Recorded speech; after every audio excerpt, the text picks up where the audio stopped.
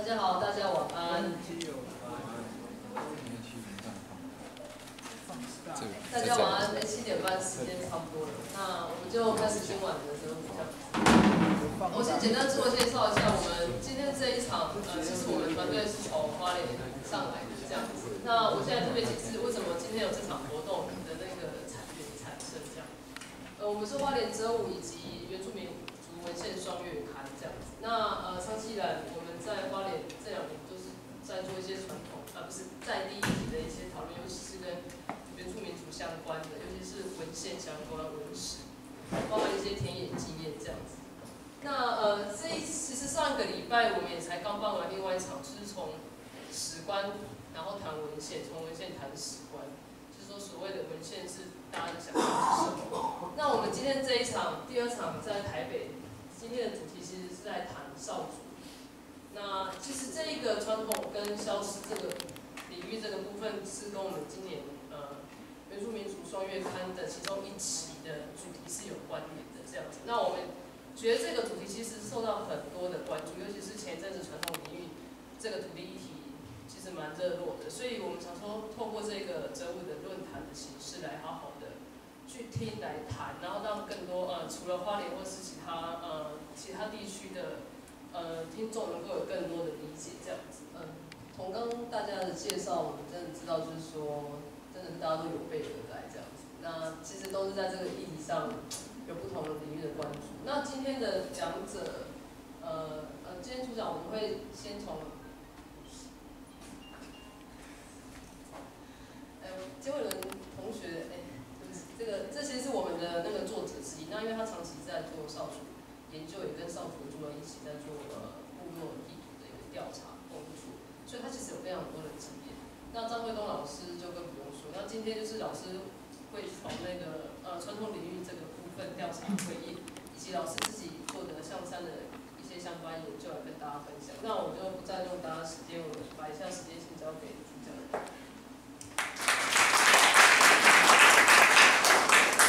谢谢大家。呃，就是刚刚就是稍微听了现在，好像应该要放一下少妇的简介，可是就是因为时间宝贵，所以我比较主要是在讲调查传统领域的过程的部分。那，呃，就是题目是少妇的日常被取代的传统与消失的领域。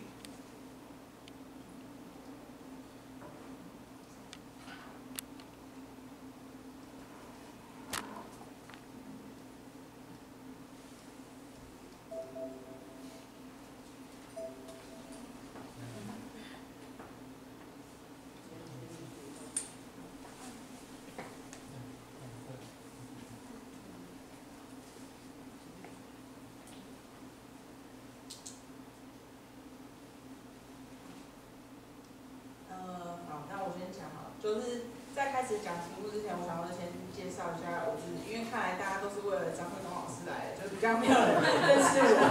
对，我是杰慧人，那我现在还是学生，就在暨大的东南亚学系人类学硕士班，还在就读当中。那呃，少族，对，伊达少也是我的田野地，就是之后论文也会写相关的。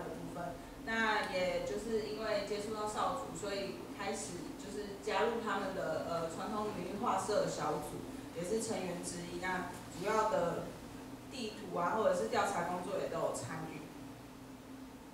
那讲到少族的土地流失，我想说大家应该会略懂略懂，就是它消失的领域。大概会先讲它几个变迁的大事迹，就是主要是这几个大事件啦。就是从清代，它其实是呃。中部水沙连的算是霸主，因为它算就是有六社，领域是非常辽阔的。它包括，呃，我们算起来大概有七万多公顷是少族的领域。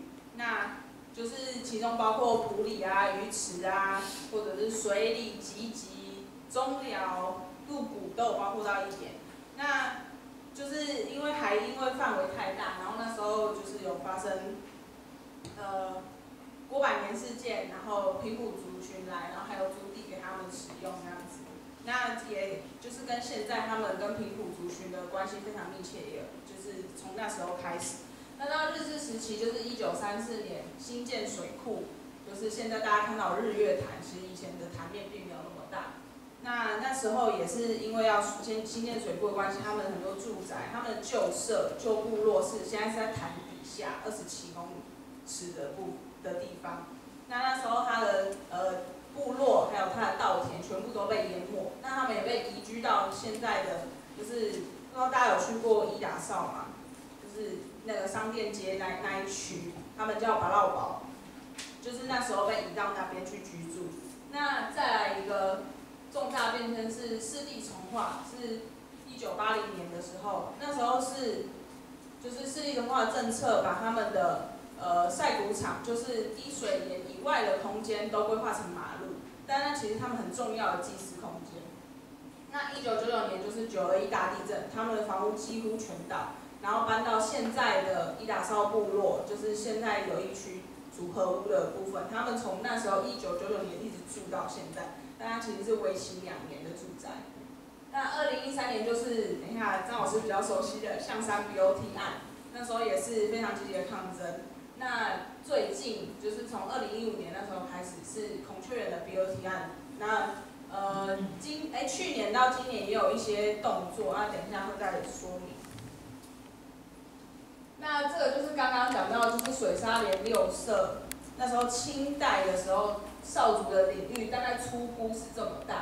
那有红色点的部分是有地契的，就是是有真的有那个对文献有记载，他们曾经租给谁租给谁的部分。那整个初步估计就是七万三千六百公顷。那以前的日月潭。这样不知道清不清楚？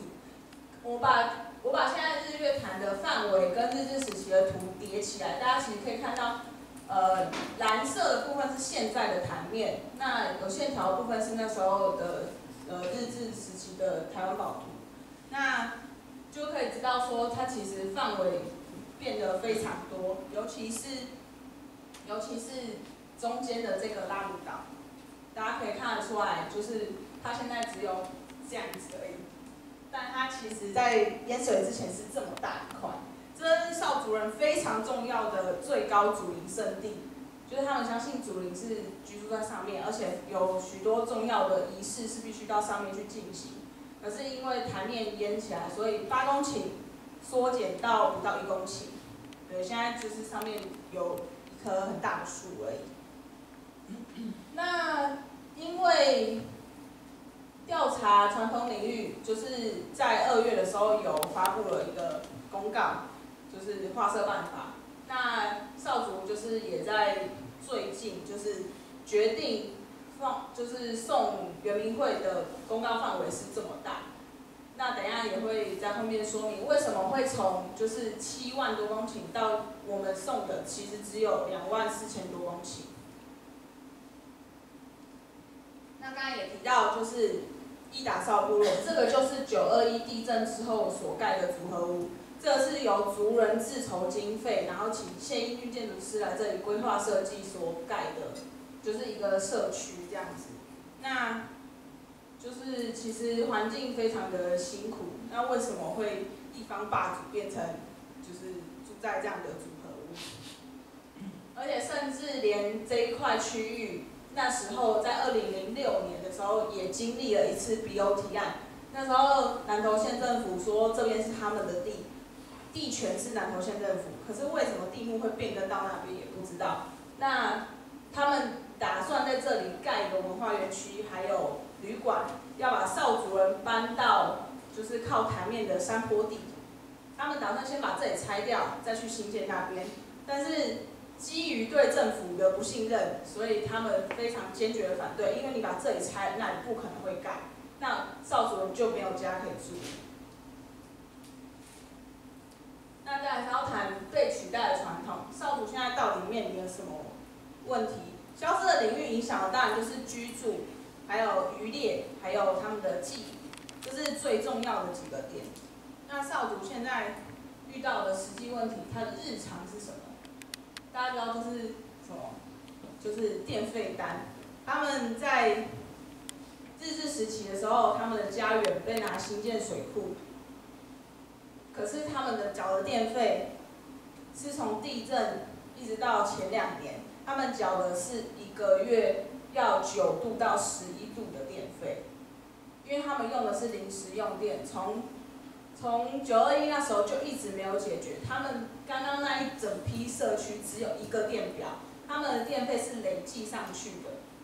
为什么？因为他们这个地不是他们的，这块地的所有权是南投县政府的，所以他们在这里没有办法有地址去申请那个电表，他们用的一直都是临时用电。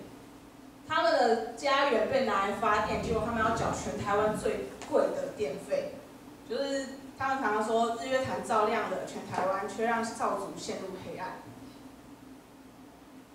那我不知道大家有没有看过以前的日月潭？现在的日月潭是长这个样子，观光船在潭面跑来跑去，跑来跑去。但其实以前这里是少族人非常重要的渔猎场所，他们会放置鱼泉，或者是制作浮鱼，让鱼去上面产卵，让他们捕，或者是定制放在那边的鱼泉。那现在这个样子，就是船浪非常严重，影响当地的生态环境。它的激起的船浪会一直侵蚀周边的土。那不止它的植物没办法生活，它的鱼也会被这些船浪给吓跑。少主人根本就没有办法在这里捕鱼了。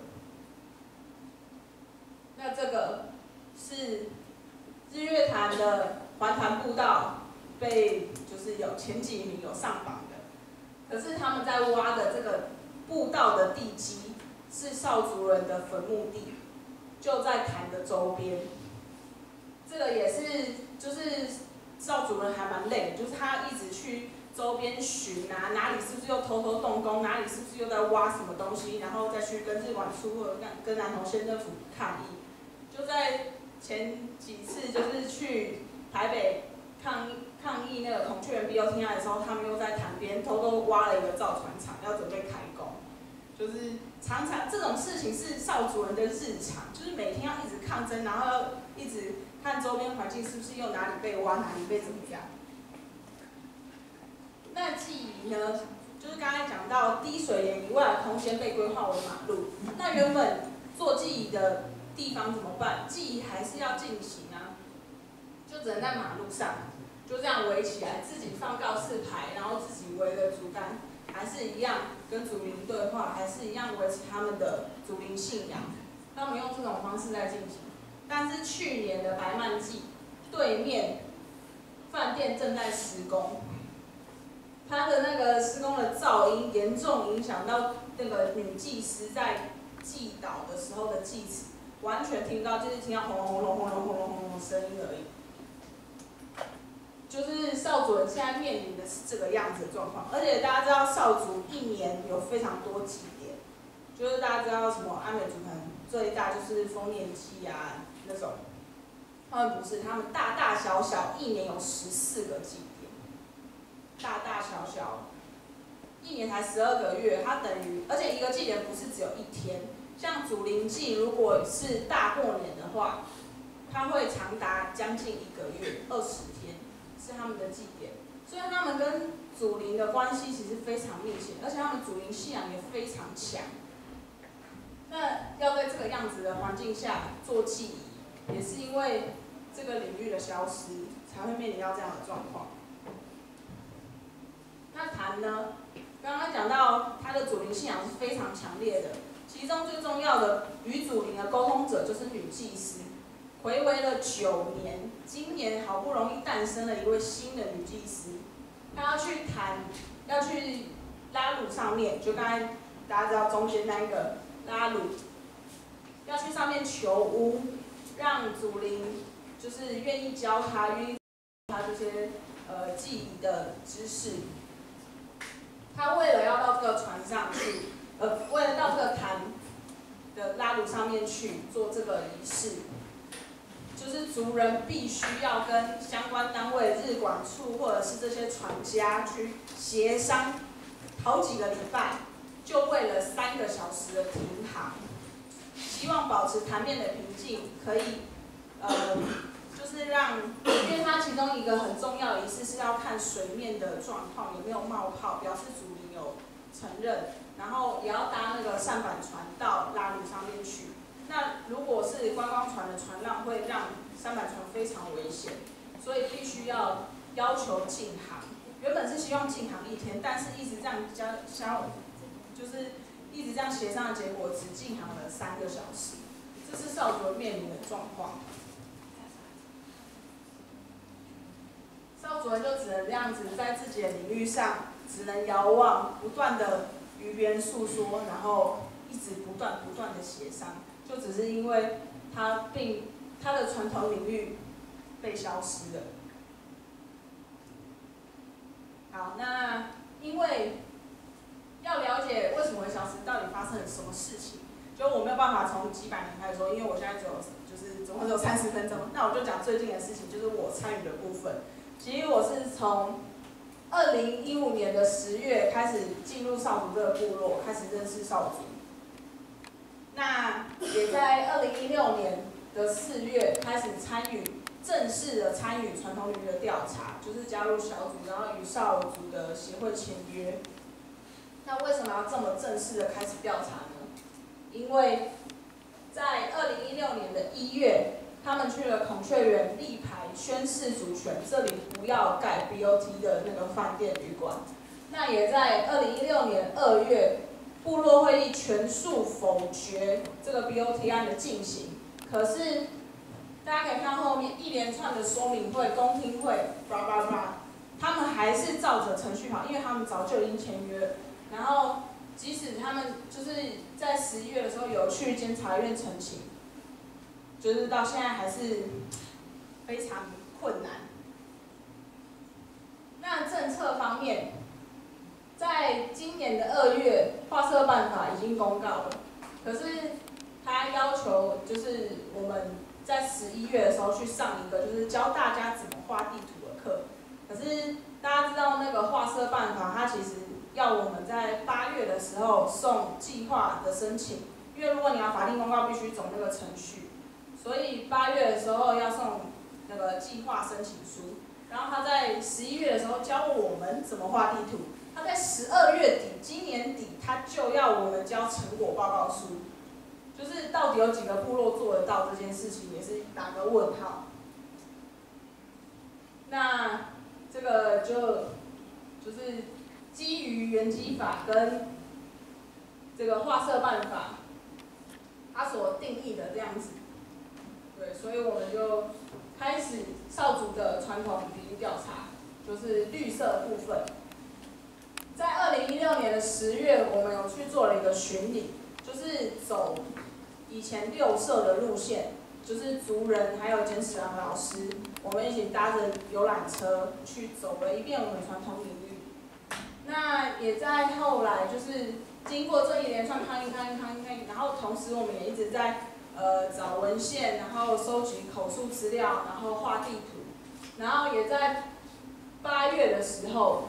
八月十五号决定法定公告，但其实一开始我们只只是要自主公告，为什么会走到法定公告的程序？就是因为在八月十二号的那个环评孔雀园的环评说明会，南投县政府非常强调说，我们不需要经过智商同意法，因为你们还没有公告你们的传统领域在哪里，所以我不确定孔雀园是不是你的，我不需要经过这个程序。所以我们就决定，好，那你既然要这样讲，我们就走法定公告，不然其实我们自主公告就 OK 了。那我们也就是在八月三十号以前交了计划书，然后也在十月的时候通过部落会议，就表示已经取得全部族人共识，好，我们今天画的传统领域就是这个范围。就刚才前面有谈到那个两万多公顷，好，我们先送这个部分，那。我们也在就是前几天十二月一号的时候交交了成果报告书，但是很有趣的事情是，我们非常的急，因为我们很怕孔雀园会再一波动作。他从八月到现在已经没有后续的行为，我们很怕他又突然蹦出个什么东西，所以我们很要求就是园林会让我们尽速，就是赶快走完那个程序，然后我们可以法定公告。然后我在十二月要交成果报告书的时候，我跟圆明会就是沟通，就是哎，我们是不是要交什么什么？跟他确认完以后，他说，哎，你们可不可以晚一点交？因为我们的那个呃设施要点什么都还没有弄好，所以我们这个程序可能还要再走了一个多月这样子。你们可不可以再晚一点交？所以我们现在就等于有点被卡住，我们的工作已经完成了，但是。就是上面还没有办法可以让我们很快的法定公告，我们现在只能祈祷，就是它的程序可以赶快走完，让我们可以就是获得那个保障，法定公告的保障，才可以确定法那个孔雀园是属于少主传统领域范围内。那在整这整个调查过程到底难在哪里？为什么会一直说画不出来，画不出来？到底困难点在哪里？第一个就是佐证，就是你不能说哎这是我的就是我的啊，你一定要有文献或者是有其他口述才有办法证实。那文献的部分，它是掌权人写的，所以它就是可能与在地的观点会不符合，然后它也可能年代久远需要推测，那也有可能它的旧地名跟现代史有点不符合，这些都需要一直去。就是辩证或者是去呃观察，然后他描写的也可能不是那么的详细，那也也可能有没有明确的界限。像其实少族还蛮多文献，因为日月潭就是从很久以前就被观光，所以它其实有很多就是关于日月潭的描写啊，然后会写到番人多少啊，楚音怎么样怎么样的，可是他都没有很明确的写说那到底到哪里，他就可能就写说啊，吉吉中辽入谷一带。一带到底是到哪里？但底下那个州主或者是布农族，右边的布农族也会抗议啊，你不能划到我这边。可是其实台南以前也是少族的传统领域，这个大家比较清楚，因为是比较最近的事情。那以前是你到底传统领域要划到哪个年代，也是大家一直在在讲，就是说，哎，那如果台南现在是布农族部落，那可是清朝就真的就是少族了。那如果划下去以后，布农族怎么办？就他们要搬走吗？什么的，这种都是在画的时候，大家就会一直冒出这个问号。可是啊，我今天没有要多谈这个部分，反正就是这个是我们在画地图的时候的困难点，而且那个界限会一直移动，就是根据年代什么一直移动，它也不可能是一个清楚的界限，它可能今天就多画一步，明天就少画一步什么的。对，那口述的部分，其实，在调查初期，我们就遇到一个非常非常严重的。问题点，大家就是啊，考试就去找耆老，找老人家问故事啊，应该很简单。少族的人真的非常少，耆老也真的非常非常少。那在调查初期，我们就痛失了好几位耆老，而且是非常重要的耆老，就是呃最后一位在在旧社，就是他们的达林古晚旧部落生活过的长老。然后还有一位是高家的领唱高昌风阿公，就是他们对传统领域是比较了解的长老，可是我们现在变成是没有人可以问，那怎么办？对啊，这是调查过程的一个困难处。那再来是图资，就是他要求我们要交 Google Earth 或者是之类 G GIS 的图档，那就是定位跟勘察要怎么做？定位也是很多专家学者怎么讨论过，因为这个界限是模糊的啊，要怎么画一条明确的线？那可是我也不是专业的这个地图的绘绘制人员，那我也只能用 Google 二十去画。那可是我至少我会用，就是会用电脑。那我们去圆明会办的研习会的时候，其实很多都是部落长老，他们想要自己画地图，把自己知道的画起来，可是他们。不太会操作这些，那又没有相关就是这些专业的课程，他们到底要怎么画这个地图，也是为什么传统领域的调查工作一直很困难的原因。那这些传统知识到底要怎么现代工具去呈现出来，也是一个很大的问题。你难道就是在地图上真的可以明确表达那些猎人啊，或者是这些农耕啊这些知识吗？有办法吗？非常困难。还有一个是勘察，就是其他的族群可能都是比较在高山或者是要爬山的地方，但是少族他的旧部落还有他的耕地都在水底下，而且他不是潜下去就好了，它底下都是淤泥，它可能上面就覆了一块土。那我们要怎么办？水底水底考古吗？不可能吧，我们没有那个经费，也没有那个人力，那到底要怎么？这就是很困难的一个地方。那再来就是人力，部落的人要怎么去参与，或者是了解我们到底在干嘛？要怎么去滚动？就是受福的人真的非常少，七百多个人，全部哦，全部七百多个人。那住在日月潭周边的大概两百多个。那大家都要来参与画社小组嘛，就是调查小组，非常困难，因为大家平常就有自己的工作或者是什么的。那能够持续参与的是什么部分？那他到底又可以理解多少？就是我们在去年十月办的那一次传统领域的巡礼，其实族人都非常非常有兴趣去参与。就那一次大家整台游览车都坐满了，我们就这样子去，哎，听了简老师讲他调查的过程啊，或者是他之前他有收集一些考古啊，或者是他，因为他还是长期在日月潭就是少族的地方做调查。那他讲的这些地理故事，可能阿妈他们就会，哎，对我听我阿妈讲过怎么样怎么样。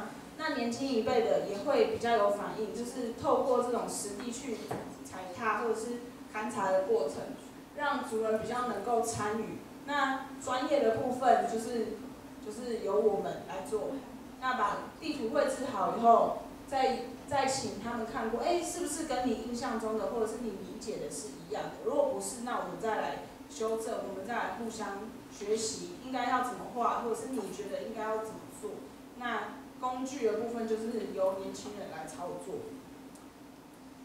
那还有一个很重要的是协商，就是不管是内部，其实少主已经算比较单纯，就是他就是部落里面的人，他可能是呃老中青，他理解的会不同，那要怎么去协商？那跟外部就是可能跟周族啊、跟布农族、跟塞尔克、跟泰雅族，就是他周边的族群，要怎么去做协商？因为我们在今年九月的时候有跟周族开过一次会，因为他们也画的差不多了，然后就发现，哎，有重叠的吗？因为其实应该有，可是他们就会说，哎，这里是我们可能比较熟还是什么？我们可能是哪个年代的？啊，你们可能是哪个年代的？因为大家知道少主也说他们是传说，是从嘉义竹白鹿而来。可是嘉义到底是哪里？就是其实少主有，呃，他们说有四位长老，其实还住在周族的部落。可是那时候不知道是有一个说法是说竹白鹿的时候，他们先在那里定居了，然后剩下的人到日月潭。那有一种说法是他们是战争的时候，因为。隔着浊水溪两边一直在打，就是他们讲交流赛，对，就是浊水溪两岸，然后他们可能是呃女生少族的女生，就是用一些交易或者怎么样，然后现在住在周族的部落。那这个也是就是文献啊或者是口述，可能都会讲到一点，讲到一点，讲到一点。那现在我们到底要去怎么定义，怎么跟周族的去协商？这也是一个，就是我们一直在面临的问题。那更麻烦是布农族的，就是布农族目前还没有还没有看到有人真的就是在实际操作这一块。那我们也不知道要找谁谈，这就是一个很大的问题。因为不是现在不是真的每个部落都在画，是有一些有画，有些没有。那我们到底要去找谁？那那时候去就是研习会的时候，也有东浦的。东浦布农族的族人就说：“哎，那个周族的怎么画到我们这边？”然后周族又说：“那边本来就我们的啊，就是这这时期就是我们的啊。”然后说：“啊，可是这这时期我们也搬来这里快一百年了，你让给我们嘛？”然后就说：“不行啊，啊，我们画就是这时期以前的界限。”然后他们两个就在那边一直吵，一直吵这样子。然后就说：“好，那那就到时候来看圆明会那边要怎么去协商，要看共管还是怎么样，一人画中间一条线还是怎么处理。”这都是后续要一直在沟通、一直在讨论的。那少主到底怎么跟周边或者是外部的团体合作。现在就是大家讲到传领，可能最最显就是最站在台面上，可能就是那个海盗部落那边。那那时候少主也有画了，就是诶八颗石头，就是少主其实是七大姓氏，就是周边的那七个就是他的姓氏，像是呃西嘎巴布努，还有达纳吉瓦呐，然后西嘎伊安、夏比，然后西嘎达法杜、西嘎达万南，还有西嘎达马鲁岛。那中间的是。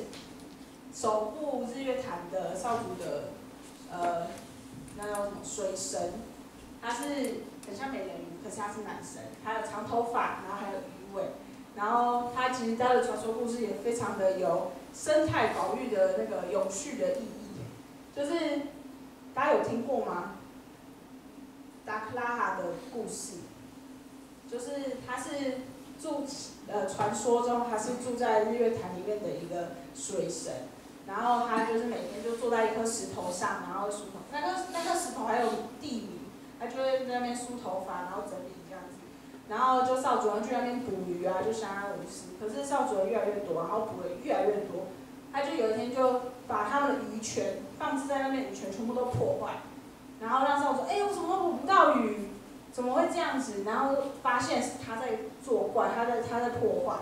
然后他们就去打了大战三天三夜这样子，结果就说，为什么你们要你们要放那么多鱼群？你们明明就够吃了，为什么还要捕这么多？你这样全部大只小只的鱼全部抓走，那以后潭里面就没有鱼了啊！然后少主人才哦，对，我们应该要就是就是有那个生态保育的概念，就是不可以大鱼小鱼都抓，也不可以抓那么多，我们要吃多少就补多少就好了。所以那个传说就一直这样相传，它就是守护日月潭的保那个守护神这样子。那呃，就是除了画石头去去声援这个活动，少主也有运了两艘独木舟上来，就是传来一首诗。不知道在场有人有参与这个活动吗？就是那时候是端午节。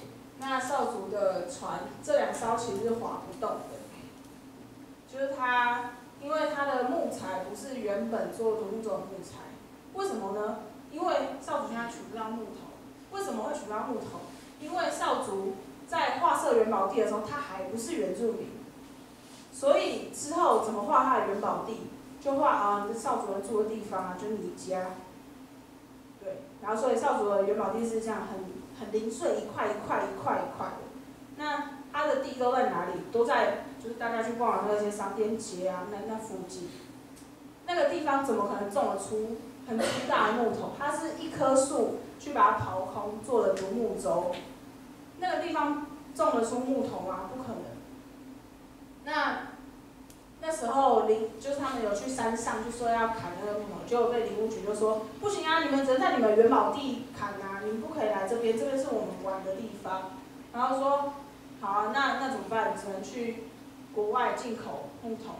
结果这个木头的材质不对，它其实在这些才是滑不动的。那也象征的，就是原住民的权利其实是在这个社会上是滑不动的。好，那传统领域传领画册好了，然后呢，就下一步到底是什么？就是我们也不知道，只是希望这个画册之后，我们是不是可以不要再一直这样子，每次坐游览车都是为了抗议，每次来台北都是为了澄清，都是为了抗议，都是因为少主的哪一块地又被 BOT 了，少主人的土地又不见了。少主人的土地又被卖了，是不是划设了之后，法定公告之后，是不是可以避免这样的情况发生？孔雀园就是非常重要的一块，因为每年的六月，农历六六月二十五号，原原氏头人就是头目，少主有两个头目，一个是石家的，一个是袁家的。袁家的头目会到费嫂，就是孔雀园那个地方做祭祀。是不是在台面上的行驶，就可以不需要再跟任何人协商？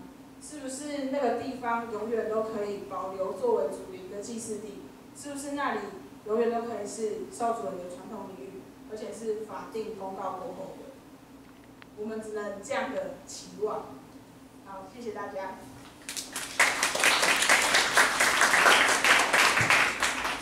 大家好，突然出现在这里，真，然后我也我是今天主办单位原住民族文献月刊的，就是执行编辑，那也是今天这一场就是分享会的呃策划这样子。那刚才其实从从呃伟伦的这个深入浅出，然后从从历史到当代的这样一个分享，我们其实看到的是一个呃当代原住民族传统领域的消失跟划设过程当中一个非常具体而为、一个非常实物的经验的一个案例哈。那呃，我其实刚才在自我介绍的时候忘记问你一个问题，就是我想要知道一下，因为折舞的观众通常是非常的多元，我想知道他现场的不管是族人朋友或者是汉人朋友，你们。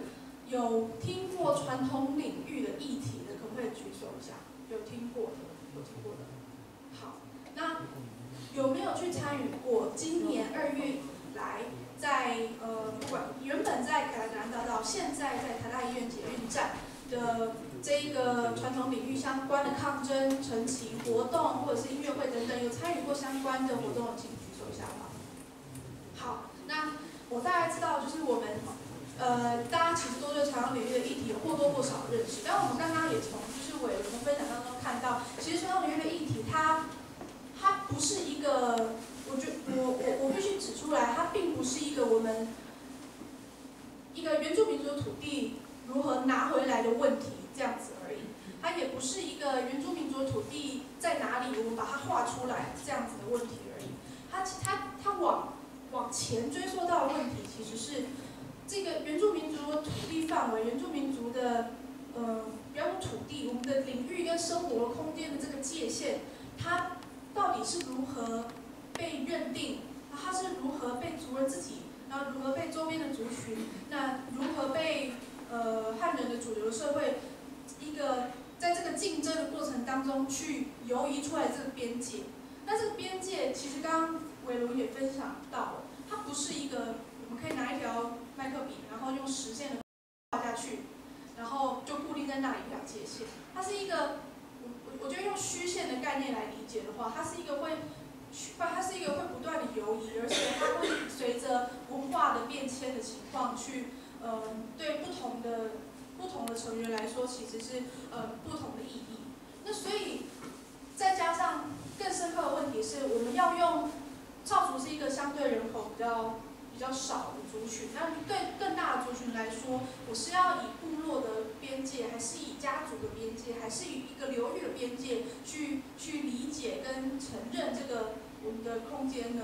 那其实最在这个传统领域的这个概念当中，我们要去处理的内部的问题就已经是呃，它是跟它是跟每一个族群的每一个部落的文化相关联。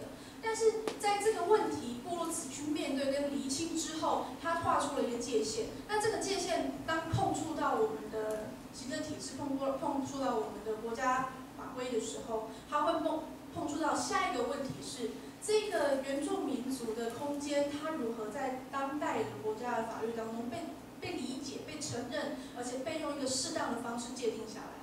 那后面这个问题就会是呃，我们下一位讲者。就是 张惠东老师，那张惠东老师他透过他在少组的象山 BOT 的一个判例的研究案呢，他要扩大从少组的这个观点来扩大去谈，到底传统领域的画社会面临什么样子的实物上的困难？那我们接下来先就请我们的张惠东老师。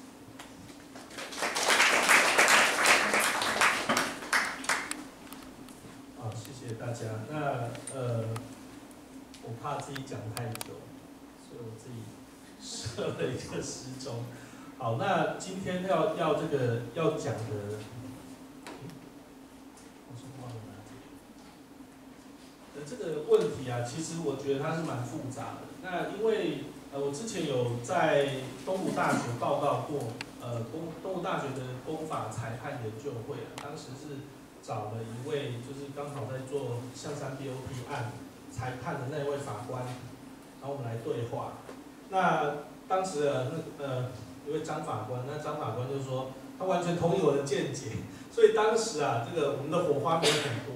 那当其实火花没有很多原因，是因为我在那个报告里面我也提出了非常多的问题在在询问。那底下呢，我不会去再谈那个很细部的呃这个少族象山 BOT 案的本身，但是我会把当时的问题再从问题再衍生问题。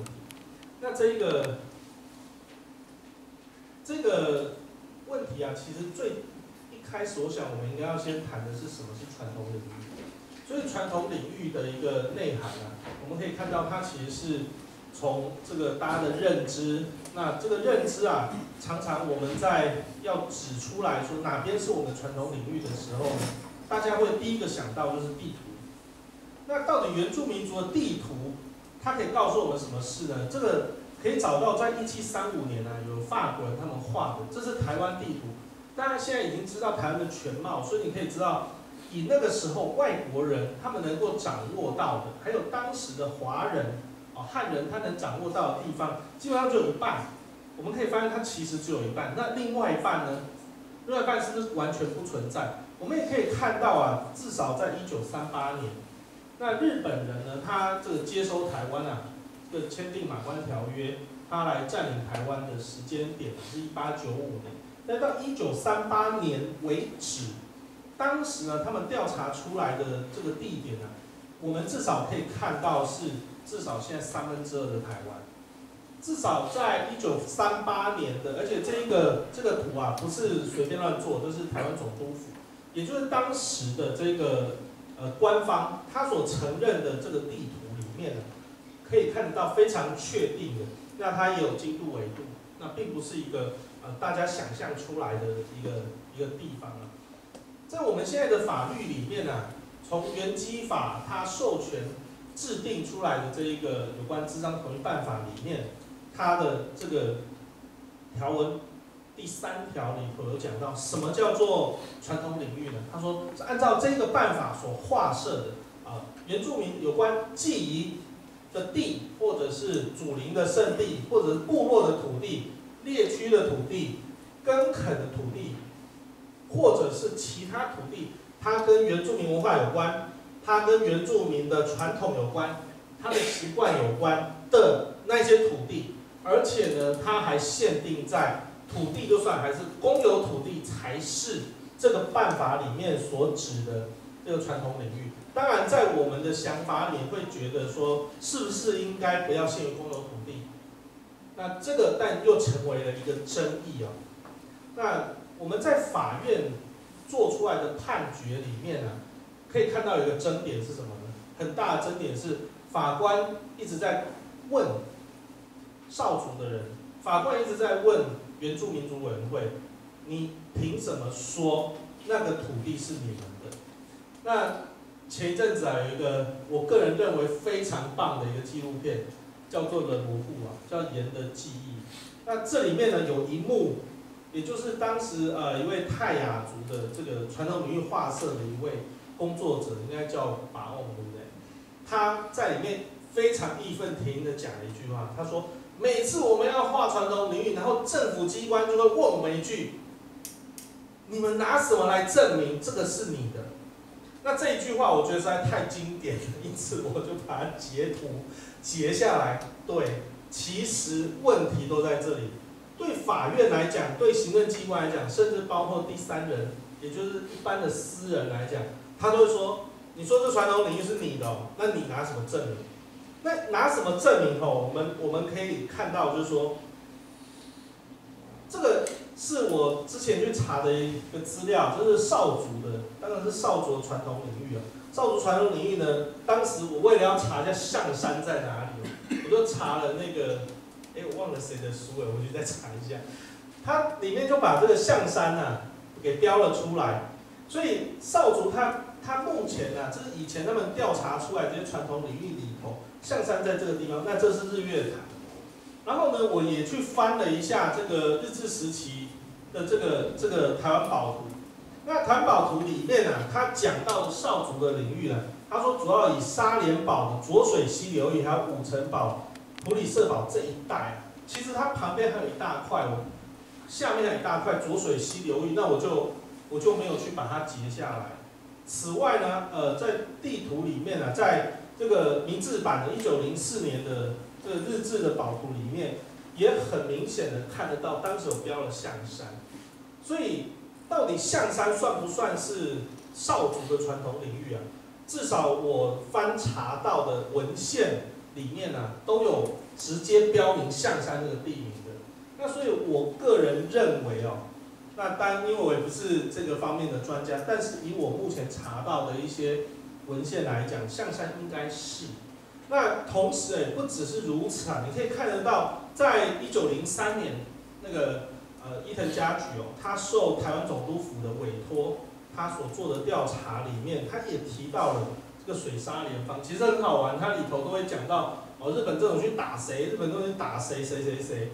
像他水沙连番的讨伐的前一个是这个阿里山番的讨伐等等的，他日本政府怎么去教训哦这一些不听日本政府的话的这些原住民，他都把它一个一个写下来。那应该还有一张图，还有这个，比如说像这个，到底台湾的原住民他们当时占的这些土地，到底有没有有是有还是没有？这个非常有趣的一本书啊，就是《台湾统治概要》，也就是当时日本人快要完蛋的那一年，一九四五年，截至到日本人要走的前一年的这一年啊，他们还出版这一本《台湾统治概要》，台湾总督府出的，里头还在讲到有番地。你知道，要知道一九四五年接下来就是国民党来了，国民党来的时候，日本人都还承认有所谓的番地存在，所以这个应该在。官方的资料上面应该是无可置疑的。那我们先讲完了前面这个传统领域的一个存在之后呢，我们接下来要讲到象山 BOT 案里面的一些重点。像 BOT 啊，其实是很长，这个我就不讲。重点是我就是在讲这一个，啊，就是台北高等行政法院一百零四年的这一个诉讼案。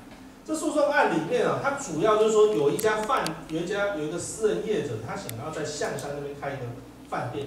那他想要开饭店呢？南投县政府这个还有呢，这个呃原住民在这个少族的部分，然后还有另外像原民会等等，这三方啊在法院里面互相交战。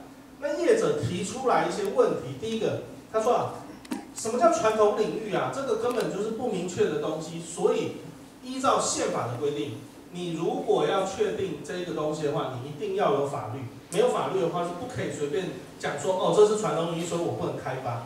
那第二点，他说到底什么是传统领域，谁来解释呢？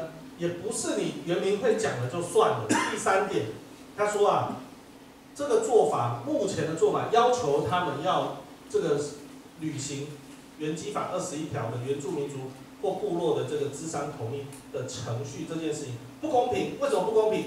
那日月潭周边摸摸摸西啊，没有，到处都是饭店，为什么人家不要？我住，我现在就要。然后说，嗯，人家以前就盖了，哎，那最近才刚盖好一个，为什么他不用？哎，这讲不出来哎。然后呢，还有他说，那你政府在那边盖那个象山的那个那个旅客游客中心，为什么不要？哎，这些也都完全讲不出来。所以他说，你这样特别要来咬我，就想把我咬死，这完全不公平。这一点我觉得是有一点点道理的，也就是说，你其实应该其他你就不要求重做嘛，对不对？补做就像人家要求补做环评，你应该要求他什么补做二十一条的这个智商同一程序才对。可是当时哦，我们去翻遍了法这个法院的法官，他就没没谈这一点。然后另外呢，这这家公司也说，他说水色遗址、象山遗址只是疑似遗址啊，我也都已经有好好的保存啦。然后另外他说。原民会以前哦，以前在这个这个以前曾经表示过说不用这个不用做原籍法的这个这个程序，后来又说要，啊你一下说要，一下说不要，我才我我真的是被你搞到有点这个不知所不知所措啊。那行政院啊，他表示了一件事情，他说啊，到底是不是原住民传统民啊？我们行政院都尊重原民会，原民会说是，我们就说是；原民会说不是，我们就说不是。啊，第二个，原民这个传统民是原民会的职权，那请法院去向他函询。那只要原民会表示意见，我们行政院就会办理。他的意思是说，上级的这个原行政院一定会这个听原民会的。但是很有趣是，我们如果看最近的这个报道，其实好像行政院并不一定就这么挺原民会。那在那个案子里面呢，少族少族的代表这个代理人律师他提出来说，原民会啊，对于原基法第二条，他对所谓传统民的解释啊，他应该是有一个拘束力的。为什么？因为其实当时呃原民会啊，他是挺少族的，也就是他的解释是认为象山这一块是传。是少族传统领域。那另外他说，行政院也讲也有讲过啊。其实呢，以现在的这一块象山的这一块领域啊，你如果要做开发行为的话，你应该就要履行二十一条的这个要求，得到这个原住民族他部落的同意才行。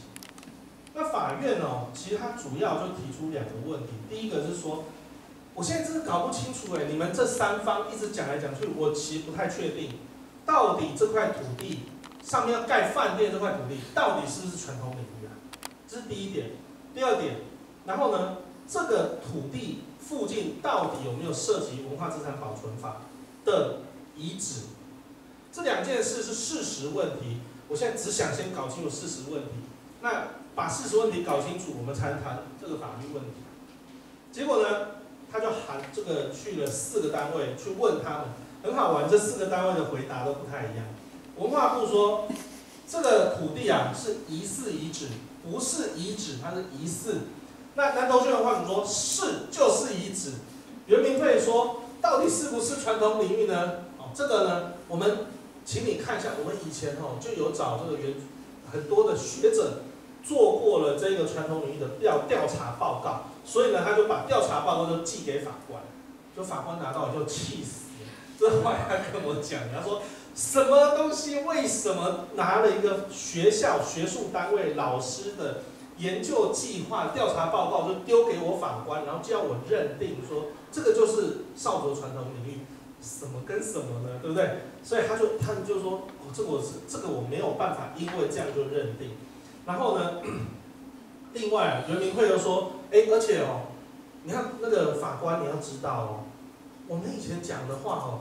法院的法官有听过什么法院？我们很多这个刑事法院，很多的原住民呢，在在这个传统领域里面啊，他采这个森林的副产物或者是伐木等等，后来被告了，我们都去法院讲，这个是原住民的传统领域，法官都有采，所以你现在行政法院法官也应该要听我们才对，因为以前法官都有听嘛。然后还有另外他说，这个旅馆新店就是开发行为，所以有二十一条的适用。那交通部观光局啊，他就说，哎，到底是不是要升二十一条？这个要问原民会，到底是不是遗址？那要问文化部。所以交通部观光局是什么都没回答。法院最后听完大家说东说西之后，他下了一个判决，他判决判少族赢。但大家知道，他判少族赢的原因跟原基法一点关系都没有。他是因为当时的律师啊，他采用双边策略，就是拿双刀流啊，右手拿原基法二十一条，左手拿环境影响评估法，最后是左手拿的那一把刀把业者砍死，而不是原基法二十一条。那法院当时说啊，传统领域啊，他认同应该要有法律位阶的一个法规范来规定才对了。我们因为是大陆法系的国家，大陆法系哦。在整个国家里面的法规范呢，它有主要有三大类。第一大类叫宪法，第二大类叫法律，第三大类叫命令。所以宪法最高，法律次之，接下来是命令。那法律不能抵触宪法，命令不能抵触法律，命令也不能抵触宪法。所以呢，它有这样子的位阶。法律是什么？法律依照我们的规定啊，它是一定要立法院三读通过。的那种东西才叫做法律。那如果是，例如说原民会自己发布出来的，那个不是法律，那个只是命令。所以呢，法院说，如果要规定传统领域的话，一定要法律规定；如果是行政命令的话，不行。这是第一个。第二个，他说啊，那可是现在没有法律规定啊，我怎么去认定？是不是没有法律规定就不能认定传统领域？倒也不是，法院就说吼，你如果要划定传统领域的话，请你给我一个客观的证据，你告诉我它为什么是，证据在哪里？证明给我看，show me，告诉我你到底有什么证据证明这里是。然后第三个，他说他就是反驳圆明会啊，他说刑事法院觉得怎么怎么看呢、跟我行政法院没有关系，他们要他们要采认你的说法，那是他们家的事，我行政法院自己认定自己的。我们要讲啊，这个这个这个判决呢，它其实啊，为什么会变成要去讨论这个传统领域的问题？例如说，你会不会去争跟人家争说，哎，我们家你现在你住的地方，你有房地契的地方，去跟人家争说这是我家，这是我家，你需不需要？其实是不需要。明明是你们家，为什么现在会变成你还要去跟人家争说那是我家？其实这一开始就是从日本时代开始的。日本在一八九五年哦，一占领台湾以后，第一件事，他发布了一个官有林业及樟脑制造业取缔规则的第一条。这条如果有大家日文会的话，它这一条很很威耶。他说什么？所有権を証明すべき事件その他の確証なき三人件咬啊，すべて 看有投死，すべて是一个很可怕的东西啊，就是全部啊。全他说什么？你没有办法 n a k i 就是没有啊哈，没有办法证明所有权的这种地券，或是没有其他确证的话哈，那这种所有管理的山林原野全都属于国家的。那我觉得那很有趣，一八九五年才刚来。各位，如果我现在跟你讲一个，讲我发布个命令， 我现在假设是这一间教室啊，这个这个演讲厅的王好了。我说，我们现在开始规定，凡是没有拿到我发给你们的这个所有权证明书的东西都是我的。那说，那你可以想象你的下场是什么？你当然一定没有我发给的证明书啊，你怎么会有呢？因为现在才开始施行这个土地登记制度嘛，以前原住民怎么会施行土地登登记制度呢？那这不是一个土地流失的一个最好的手，这个剥夺或者说抢夺一个最好的手段嘛。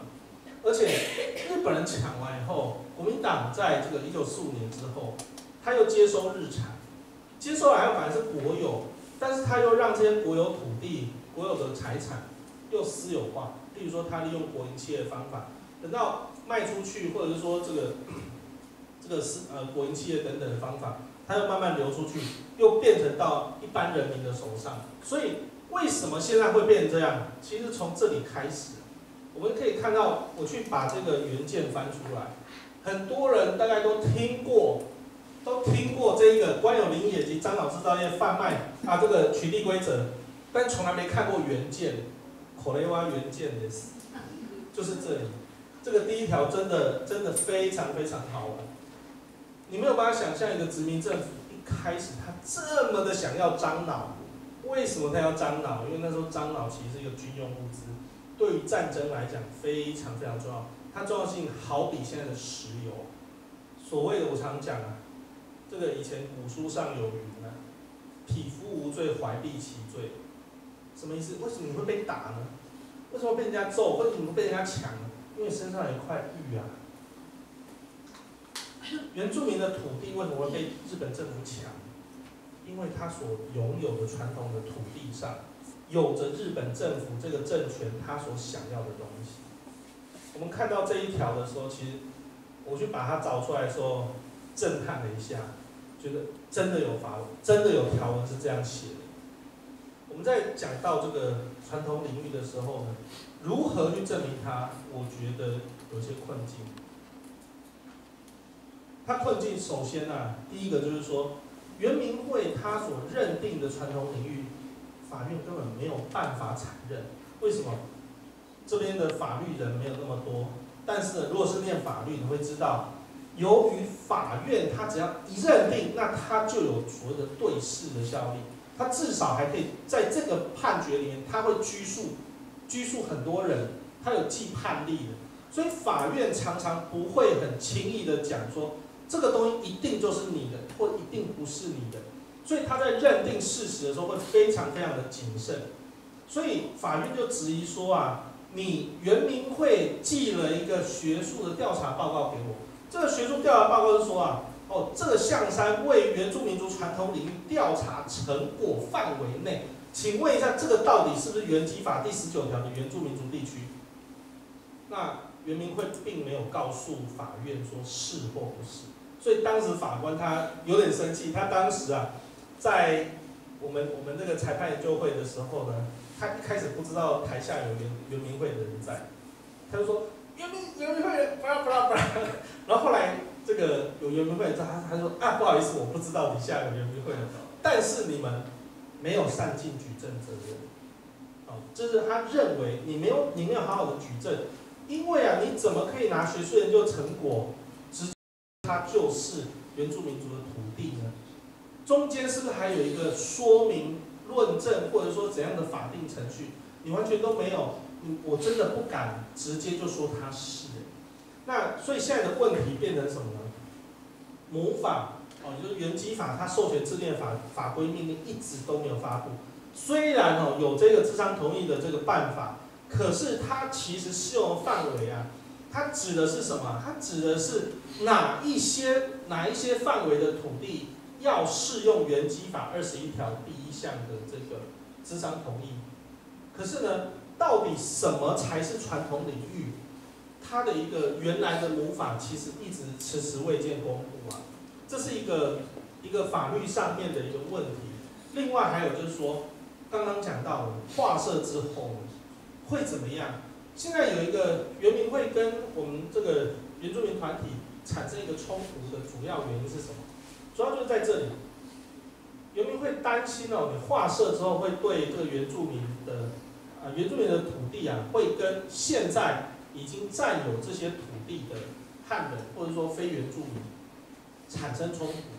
而我们宪法里面有保障私人的财财产权，那这怎么办呢？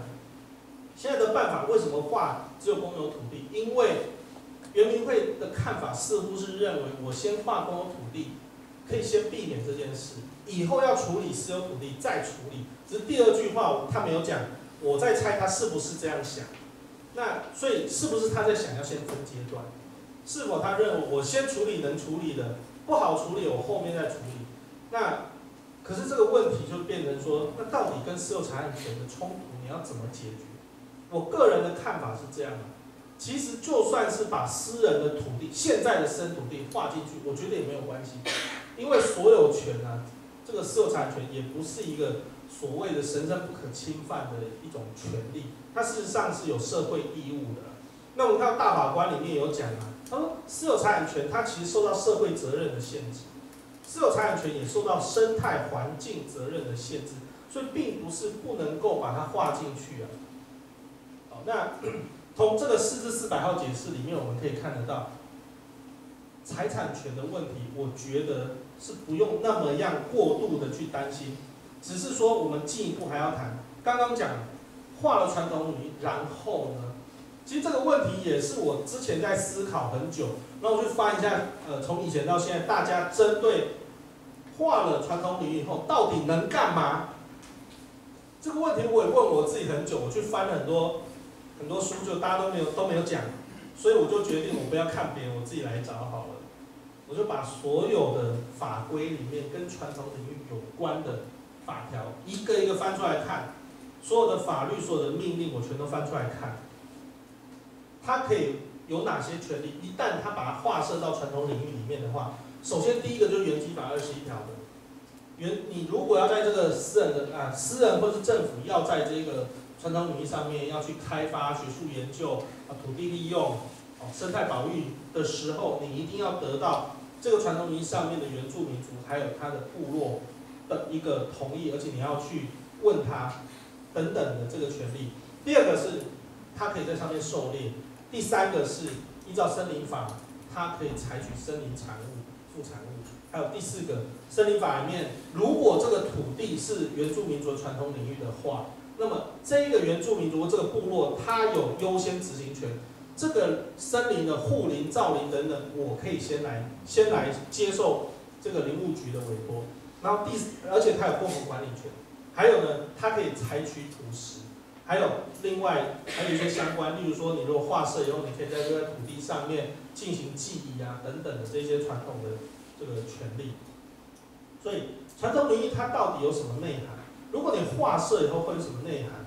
我个人认为哦，从刚那个几个分析里面呢，我们可以知道传统领域其实它的权利的种类有很多啊，而且我们从它的定义里面可以知道，它有的是记忆的，有的是打猎的，有的是耕垦的，其实它不是一种，它其实很多种，很多种土地的类别，就像我们现在有住一、住二、住三，对不对？在土地的类别上面，也有这个商业用地啊、工业用地等等，它并不是一种而已。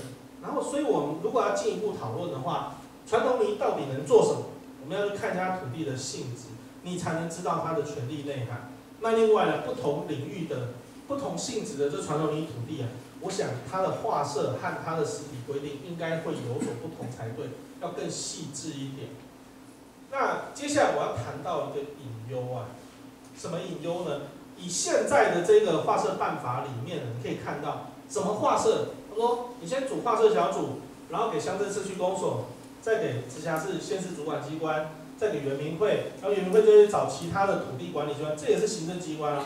然后接下来就公告了。然后请问你，这里面呢，非原住民呢？这里面呢，其他的部落呢？这里面呢，其他的原住民族呢？以刚少族来讲，那周边全部都是我不能说是。”怎么样？但是他们就是很多的财团，很多的人，很多要做生意。那你画设以后，你有没有先问他们他们的意见呢？这里面没有哎。第二个，布农族呢，周族呢，泰雅族呢，赛德克族呢，他们的角色在哪里？也不知道。那其他还好，因为少族的部落少，有一些族它很大的，就是说泰雅族、布农族，你这个部落划了自己传统领域，那我隔壁部落这里也是我传统领域。部落跟部落之间的程序在哪里？在这里面也是比较看不到的，所以这个是一个隐忧啦。另外第二个隐忧是，我自己比较一个特别的立场。我个人认为啊，在我们可以看到很多原住民族的这个权利在诉求的时候啊，传统的诉求都很重点。可是我们不管在美丽湾诉讼案里面也好。我们在象山 B O P 案里面也好，很多原住民族有关土地的权利的问题的时候啊，最后能够解决问题的都不是都不是靠原住民族相关法律来争取到权利，反而是靠一般法，都是靠到这个环境影响评估法。所以我们可以看到，这个难道不是一种被边缘化吗？这是我觉得的一个隐忧啦。那还有另外还有一个问题是说，这个智商同意它的一个制度其实蛮复杂的。为什么复杂呢？例如说，以一个饭店要开发来讲，在我们法律上它会有个主开发许可程序。这个饭店要开发的时候，它其实不止一个程序，它包括智商同意程序、都市计划程序，还有其他的，像比如说环评程序。那以例如说像这个矿业，他们开矿的话，它除了原来的这个申请程序以外，它还有设定的程序，还有环境项评估程序等等等等。所以其实原基法二十一条的资商同意、分享等等的这一个程序啊，它是在很多的程序其中之一，所以它是它会产生所谓的多阶段的这一种很复杂的程序。请问一下，他先还是他后？他先还是他后？他先还是他后？那怎么办？这在我们法规上啊，目前还比较没有讨论到这件事情。那还有另外，我个人认为，这里面有有几个点，我现在有想到的。第一个就是说，你不能不能在前面的时候先拿一个你想好的占这个还不错的部分拿来叫我同意，同意完你后面再改是不可以的。那第二个就是说。你的这个，如果啊，如果你把它改掉的话呢，你应该要重新再拿来给我，重新再进行一次智商同意程序。那到底是要先进行二十一条的这张同意程序呢？还是先去跑其他程序，最后原住民族再来同意呢？这个我也没有答案。我觉得好像不能太早，也不能太晚。但是到底要怎么弄，可能要有点智慧，因为你很早就就先做的话，后面的变数其实很大。它后面给你变的话，你会应你会措手不及。那如果你弄得太晚，它前面环评也给你做了，然后那些程序都已经开发了，房屋也给你盖了，到时候你才说我不要，那时候你挡得住吗？你也挡不住了。所以到底智商同意程序要在什么时间点开始做，这个也是需要智慧的。然后另外呢，它的法律性质这个太法律了，我就跳过。最后结论，法院呐、的法官非常明确的告诉我们说，到底是不是传统领域，给我证据。可是问题在于什么证据法院才承认？判决已经是看不出来。我们真的目前为止不知道要到证明到什么样的程度，才法法院的法官他才会说 OK，这是你的传统领域。还有第二个，我们可以看到我们目前的政府啊，凡事都把原住民族的事情特殊化来处理。反正啊，这个转移争议呢，我们现在转移争议是我们要弄的，那原住民的转移争议只是另外一个转移争议。啊，一般汉人的土地原，这是汉人的的规定，那原住民都是另外处理，把你包一包，捆在捆在一起，然后你们就另外弄。可是我们可以看到，常政府哦，都说原住民是特殊的，你是特别的，所以我给你立个专法。可是我们在观察结果论的话，会发现你什么事情啊，说要立特别法，实际上都没立。原基法底下所有的该立的执法几乎都没立。然后呢，就算立了，也效果不彰，它也把你边缘化掉，变成什么？变成说，你原住民呢，不但本来哦，政府告诉你说，哎，因为我要给你特别保障，所以给你特别法，因为要给你特别的好处，所以我给你特别处理。这实际上，你连作为中华民国国民一般水准的保障你都没有。这个是一个，我觉得到底是不是一个骗局呢？但这句话讲的有点重，但我很质疑，什么都一定要特殊化的处理，这件事情到底对台湾的原住民族来说是好还是坏？什么事情都把你切割开，跟一般国民分开处理，这是对还是错呢？这一种政策上什么都被隔离，什么东西都被特殊化处理，那下场到底是什么？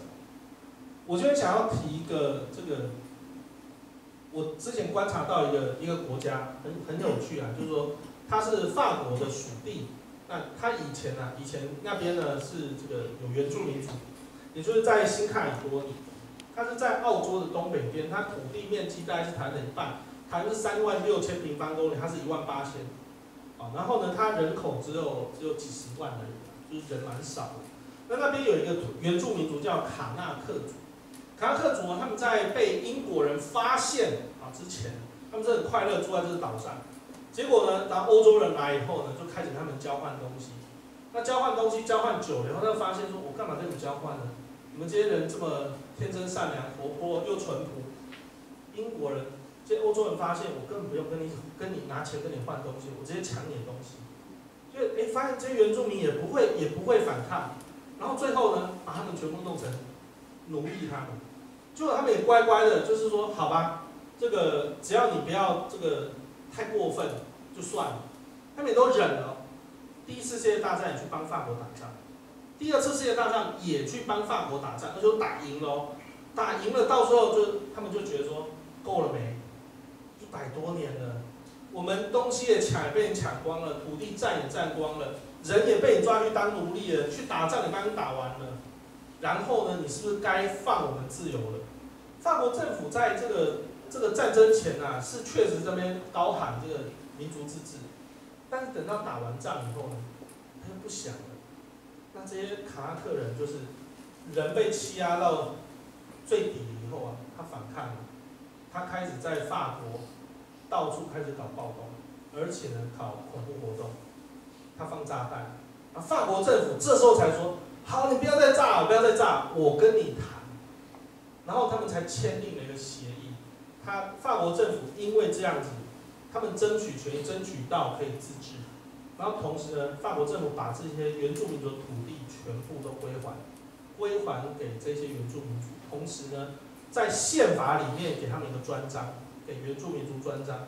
另外，在法律位阶里面呢，也给他们一个特别的法律的一个规范，叫 “Loi du pays”，就是地方法，它等同于法律，原住民的特别的制度。然后同时，他们也争取到明年，其实早就应该要公投了，但是他们一直拖拖拖拖到明年，新卡尔多尼亚公投，决定是否要独立。所以这个这个，我觉得这一个地方的的卡纳克人啊。我认为他们这一路过来的这个历程啊，很可以作为我们的一个参考。但在台湾很没有知名度啊。那他们的司法上面有传统惯习法官，然后呢，行政上有自治政府，立法上有原住民族传统惯习法参议院。也就是说，他们在尤其是主要是在民事上啊，全部都是适用它。只要你是卡拉克人，你就适用自己的原住民族传统惯习法。然后呢，好玩的是，我们过去台湾常常在这个介绍的都是英美法，我们比较耳熟能详都是美加纽澳英嘛，对不对？但是呢，这个台湾很不幸是大陆法系国家，那跟我们一样是大陆法系国家的欧洲啊，他们的这个我刚刚讲的这个殖民地，它在这里，在这个这个地，那他们也是适用大陆法系。所以在大陆法系的这个情况下，如何进行原住民族的转型正义？我个人认为这个是很值得去参考。那因为它跟英美法的国家比较不太一样，所以呢，这个相跟台湾的相容度会稍微比较高一点。那我查到一些资料啊，那第一个主要是从一九七八年到一九一二零一零年开始啊，他们为了要返还原住民族的土地、传统领域等等，法国政府设立了一个。中央级的机关叫做农业发展暨土地治理署。那这个这个机关呢，它怎么处理原来原住民族土地私有化变私人土地的这些问题呢？国家编预算收购，用市价去收购原住民族的土地。他们买了八百八十件私有财产，然后呢，把这些土地买来以后再还给原住民。为什么？因为这是法国造的地啊！法国政府他们当时把人家的传统领域土地给卖掉了，所以现在原住民要跟他讨的时候呢，他只好花钱把它买回来。然后另外呢，他们也立了一个这个很大的原则，也就是说，只要是原住民族传统领域，它的土地就不受法国法拘束，它适用的是传统法。然后另外呢，我们台湾现在呃非常可能在明年开始要开始施行。部落公法人的这个制度啊，在法国，他们呃卡纳克族啊，他们是有一个特别法，也就是他们不是用部落作为作为法人，他们是用氏族，因为卡纳克族他们的整个社会的形成主要不是部落，而是氏族，是家族啊。例如说这个部落里面，一个部落里头可能有陈家、王家、李家，哦，可能什么胡家等等，那这些家族他们。本身就可以成立一个法人，他不需要跟这个同个部落里面其他家族一定硬要联合在一起。那在台湾其实也是有这个问题啊，部落要完全的联合起来，而且让大家组成一个这个法人，我个人认为好像有一点难度。那法国他们的这个法制啊，因应卡纳克族他们的需求，他们是给氏族一个法资格，而不是给部落法人资格。所以他们的这个氏族啊，都可以成立法人，然后目前呢，啊运作还不错。按这个相关的规定啊，我想说以后有机会的时候再做介绍。那以上啊非常简短的，针对这个传统领域还有这个判决以及啊它的这一些呃后续的一个问题所带出来的问题呢，做一个很简短的说明。那以上这个。希望大家没有觉得太枯燥，好，谢谢大家。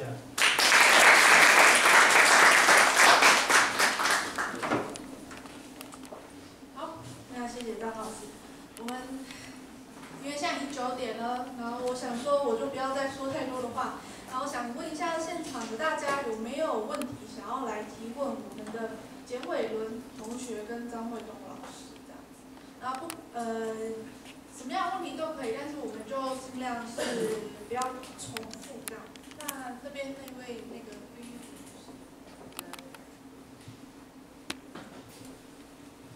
我想先，呃，我想请教那个张慧东老师，呃，因为刚才讲到那个法律位阶的问题，原住民族基本法它应该算是属于原住民的基本法，相当于汉人的宪法层级。那么，呃，传统领域划设办法，它可以违背基本法吗？好，那如果是这样讲的话，那么在划设办法，它不管怎么定，它它既然不能够违背基本法，那么现在所宣布出来的这个划设办法是不是有问题？就我们就单纯就法律位阶来谈这件事情，不谈所谓的宪法，因为原住民族基本法它就已经相当于汉人的宪法位阶，是这样的意思吗？那我们先再收集几个问题，然后再一起回应。还有没有其他的的朋友？这边。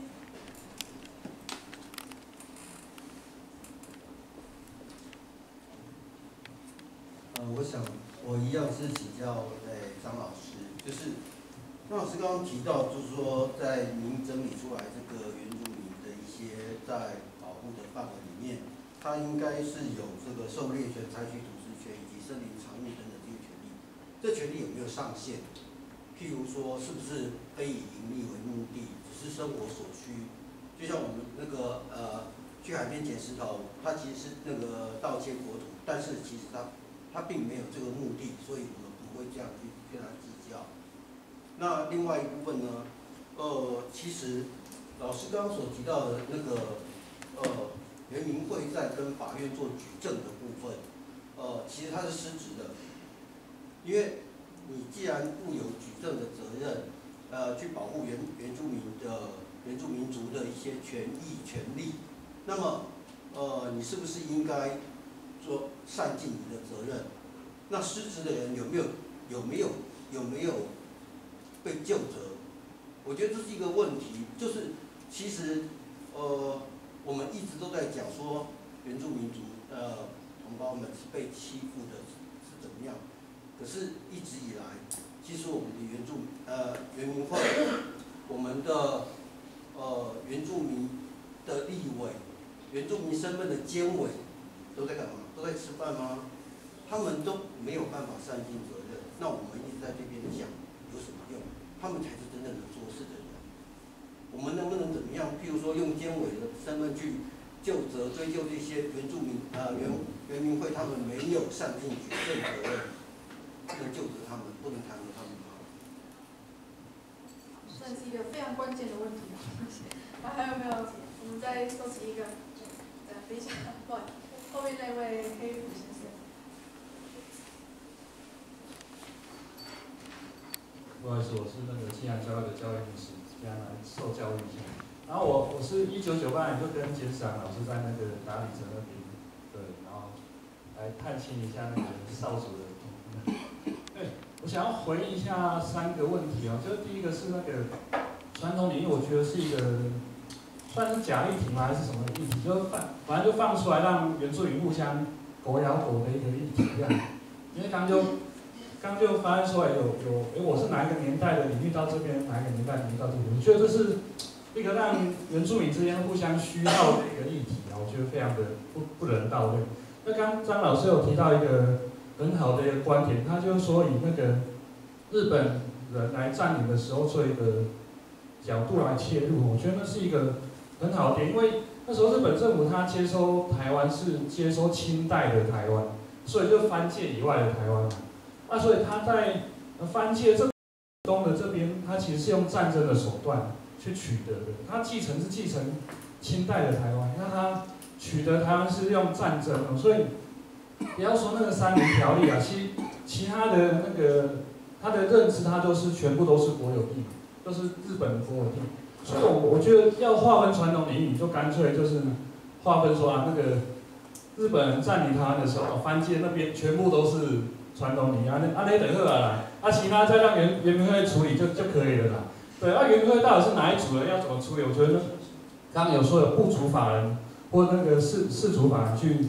去处理那样就可以，因为因为确实我们现在中华民国政府它取得的公有地也是从日本政府取得来的嘛。那日本政府他就是没有拿到人家的地契什么，他就把人家占领了，就用战略手段把人家占领了。所以我觉得传统领域它其实就直接直接直接问中华民国政府说啊，不管你这块土地怎么来的，就是从从日产来的，那日产就是从战争来的。对，那我我先回应到这边，就觉得应该是用一个直接直接制定法律说啊，确认翻界，那时候翻界就是传统领域，就不要让原住民主在那边区号。然后后来确定传统领域之后，到底啊谁要怎么开发、怎么使用？因为现在毕竟是一个私有化的社社社会，那你要怎么怎么跟原住民原本的那个氏族法人或者是部族法人去做做做做做调整？我觉得也是要又又又一个又一个问题要讨论的。所以我觉得，与其这样，就干脆就是直接立法，就是以以那个番茄，呃。承认日日本政府继承藩界以东，然后中央民国政府又继承那个日本政府的领地，这样就啊，我最后还有一个，我觉得所有的独派应该站起来，要支持那个原住民族那个藩界以东要自立起来哦，然后干脆就成立一个原住民国或或福尔摩沙国这样就好了，然后中华民国中华民国政府就跟福尔摩沙国宣战，然后又投降，然后那个福尔摩沙国就占领中华民国，这样台湾就独立了，谢谢大家。因为我们问题真很多，我想说，我们是不是可以先简短的回应一下，然后我们再接着问。那呃，我们请张老师回应一下几个法律的问题。那呃，还有原，还有那个原民会的角色部分，也许我们也可以就是谈谈看。呃，对不起，我我听问题听得太入神了。刚第一个问题是什么？就是呃，原基法它其实哦哦，想起来了，谢谢。哦，好，谢谢。那个，对，那这个问题是这样啊，就是说原基法它确实是呃非常高的。那其基本法本身啊，它的位阶，我个人认为它就是已经接近宪法，它比一般的法律的位阶还要高。但是呃，基本法也有个性质啊，就是它是比较普遍一般，而且它是一个方针性、大方向性的法律。那所以本来哦，本来原基法应该是一个大方向的。针对所有的原住民相关的法律，它是一个大大帽子盖在上面，底下还要很多，比如说土海法啊等等这些法律要还要立法。可是为什么现在大家一直都在讲原基法呢？因为底下的该有的小孩都没出来，所以大家只好一直去找那个妈妈。可是那妈妈本来其实它只是一个大方向的规定，所以导致啊这个在法律适用上产生了一个困难。你说我们在法律学上面。常常会发现原基法的立法太过抽象，那法官无法适用。其实有法官在他的这个一些研讨会上面也曾经提过这样的论点。他说原基法规定太抽象了，我因为没有办法用，所以干脆不用。这是一个，这是一个有法官曾经这样讲过。那另外呢，也就是说现在的这一个依照原基法授权而制定出来的这个法规命令，它确实不应该要违背基本法。那不知道您指的是不是指公有土地的这一块？我个人啊，只能代表个人的看法。我觉得这样子的规定确实是违反法律的这个授权啊也就是它应该不要限于公有土地。但是呢，我个人认为它法规里头应该可以写，直接就讲原住民族土地。但是它实际上在操作的时候，它可以先划公有土地啊，因为它比较好做的话，它先做。但是它在发布的法规面。我个人认为应该是不要限购土地比较好。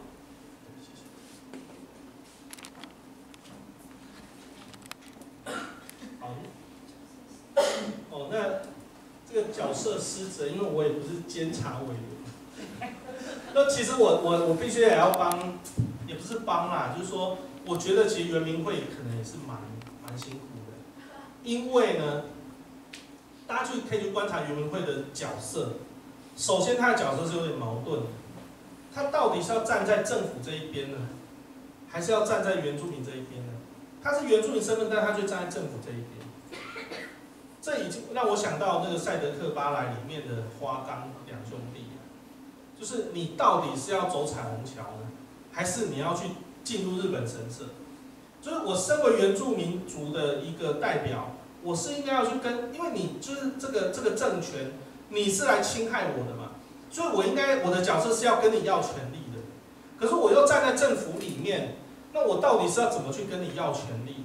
这会变成有一个第一，首先他的角色有点双重矛盾。那第二个是，他要负责的是什么？他要负责的是所有原住民的全部的事。那你想，汉人的政府里面所有事情，它是多少部会？内政、外交、国防、经济，巴拉巴拉巴拉一大堆。那难道原住民不用吗？当然也要。就原住民的事情有关内政、外交、国防、经济一大堆，他也要处理。他只是一个部门。他怎么样用一个部的规格要去处理所有原住民的事情？我个人认为，这个在规模上以及人数上、资源上都是明显不足的。以这么少的人，他要做所有原住民的事情，我觉得是有点强人所难。那同时，尤其是在现在的法制的规定这么不全的情况下，你要公务员怎么做？不要忘了，他们也是一般公务员，他们也没有特别的那种那种三头六臂，说，哎，我一个人我可以我可以一个打十个，我觉得也没有。那你现在法律也没有也没有出来，我怎么做呢？所以法官当然他会质疑你说，你没有给我你没有给我足够的举证。可是，在如果假设我们设身处地想，那站在他们圆明会的角度，他会说，其实我也不知道怎么弄哎，只是自己笨啊，就是他们的他们的角色可能会变成是这样子，所以到底怎么处理，其实我个人认为哈，是不是能够事先沟通，事先在跟法院的法官就是了解一下，说你们要求我们到底要举证到什么样程度。那这有一点就是要牵涉到除了事实问题外，你还有一些法律上面的问题。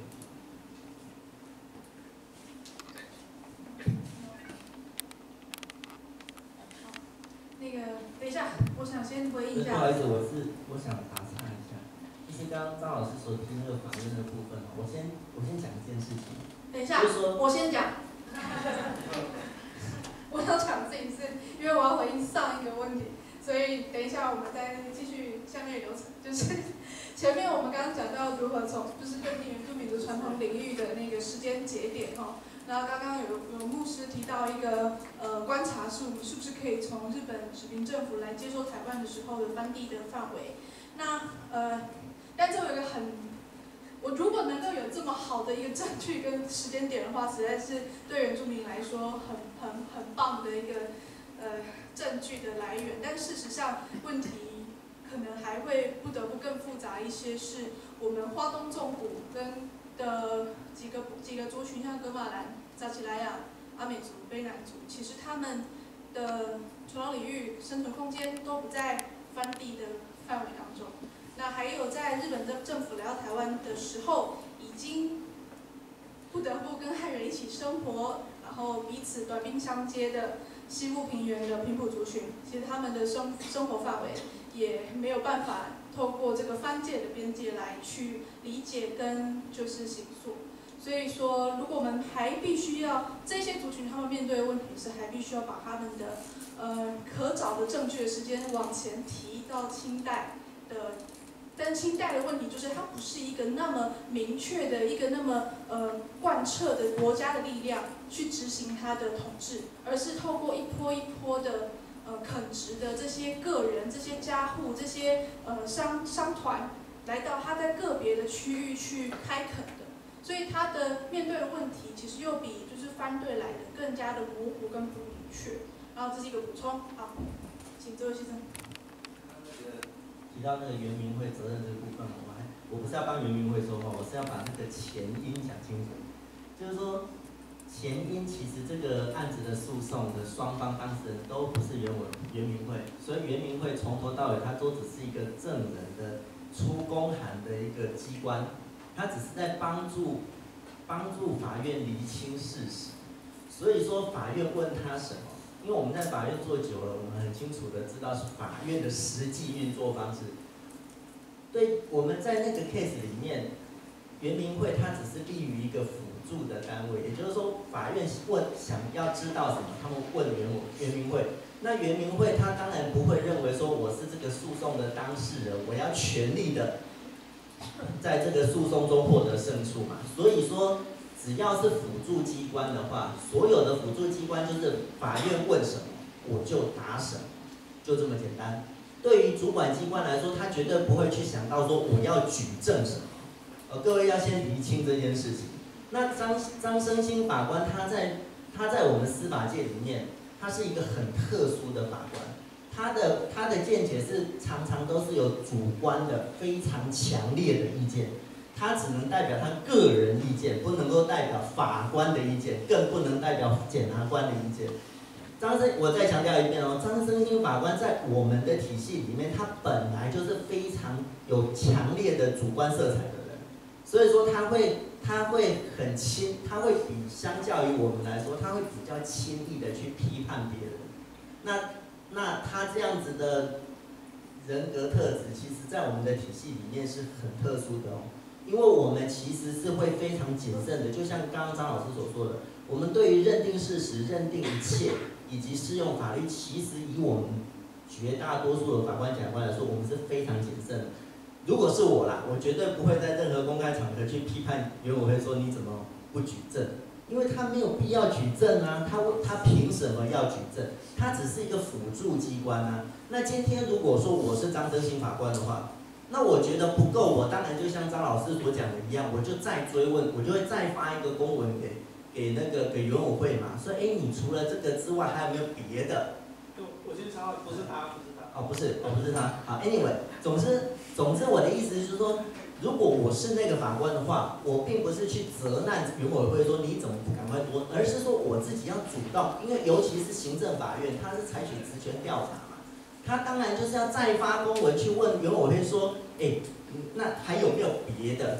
而不是说哦就这样，那我就决定了。所以说，大家要先，我们我我现在常常，因为刚第一位发问者是说责任嘛，那我们既然讲责任，我们就要先弄清楚责任何处而来，而不是我们看到一个黑影就就开枪就哦就他，这个是我们台湾社会一个很严重的、很错误的一种想法，所以说这也是我不是很喜欢张生清法官的原因啊。谢谢你，你补充的，因为这不是我们今天。Anyway，那不是重点，那不是重点。好，那我这，那我现在我要提出来的，我现在要讲的就是说，大家要归咎责任之前，先要厘清整个来龙去脉。哦，好，那再来就是我真正的疑问是想要问那位女团的小姐。呃，对，那就是刚刚那位就是前一位，他有提到就是说那个怎么画，那个谁要独立什么 I don't care 了哈。但是我比较想要了解的是说，因为刚刚你有提到说有七，目前有七百多个少族的人，然后有两百多位住在日月潭那附近，那其他的那五百多位是不是散落在各处？好，那如果散落在各处的话，因为这一阵子我也我也去正大民族学院去学他们的民族学了哈，那大概有一点点很粗浅、很粗浅的理解，就是说。所谓的传统文化，因为它会受到文化变迁，就刚刚那位小姐讲的一样，就是说它会有变迁的问题。那那变，既然在变迁的话，那个那那五百多位少族人，他又已经离开了原居地，那要那那以我我现在想要想要知道的问题是说，那那五百多位，他们对于传统领域的这个看法是什么？我想要知道的是这个，谢谢。好，谢谢。我们刚刚前面这边有一个大姐。其实我刚听的那个结果，我觉得像伟伦在帮助上族人在画他们的传统领域的时候，或是我相信各族在画传统领域，一定都会碰到一个问题，年代的不同，就是定年定期的问题嘛。可能清朝时候还有就是日治时期都是不一样的。还有就是说，其实在我的观点里面，在以前的台湾，每一个部落就是一个国家。跟刚才张老师提到说，嗯，法属的有一个叫新克里多尼，有没有？他们是用他们的氏族，可是其实台湾部落每一个每一个族群有不同的氏族，那每一个族群可能部落跟部落之间又会彼此攻打，他们的领域会因为征战或是各种关系消长。其实那个定定一个旗这个问题，我觉得是一个很困难，可能需要。这个方向要先讨论出来，才会有后面的所谓传统领域划分那个界限的问题。还有另外一个，嗯，我不知道，嗯，刚刚有一位先生他就提说，另外的五百多多个人呢，其实这就牵涉到另外一个问题。我了你在参与这个少人在画传统领域过程，比如说你可能是在你已经是整个是参与式的观察。那其实，在我自己在辅导部落的时候，我也会发现这样的问题。汉人就是我们的汉语汉文化的人碰到异文化的时候，我们会比那个异文化的人还要异文化。你会对于保存他们的东西，会比他们还卖力。这个是我们的悲伤。那可是我看到今天有太阳族的伙伴有出现在现场。其实我觉得这不管是嗯传统领域或是文化的消长等等的，其实都还是要你自己本身你要出来。像比如说张老师他是法律专业，他会帮助。可是真正好像我们山林知识，我们汉人绝对是比不上台湾的原住民。可是台湾原住民在帮助自己的呃权利的在争争取的时候，或是真正可以跟汉人相，可以互相抵，应该讲抵抗吗？或是 defense 自己权益的时候，能不能拿出他们自己有很有力的证据，或是能够真正那个能力？我讲是跟汉人，或是跟法院，或者是跟政府可以相抗衡，就直接就是共管这两个字好了。有没有能力共管？其实我觉得这个这个问题其实是蛮严重的。如果你真的是原住民的话，你有没有办法参与在这其中？我想，我想，我不知道你你会不会跟我一样，当年我是退出来，因为我看不到那个努力，这样子。谢谢。是一个非常尖锐的问题。还有没有其他朋友？我们现场其实不止太阳族，还有布农族、排湾族、周族，就是我知道的。那还有没有其他的现场的？我们也不止只有讲者可以回应。现场想了解一下目前那个三十通过的促转条例，那原住民的朋友要，就是刚通过的促转条例哈，那原住民朋友有有想要援引这个条例做一些转型正义的事事情？你想要问谁？呃，都可以。都可以。好，那我就看哪位都可以可以来回答。我们第一个问题，那第一个问题是那个这位先生，然后大姐，那伟伦先好了。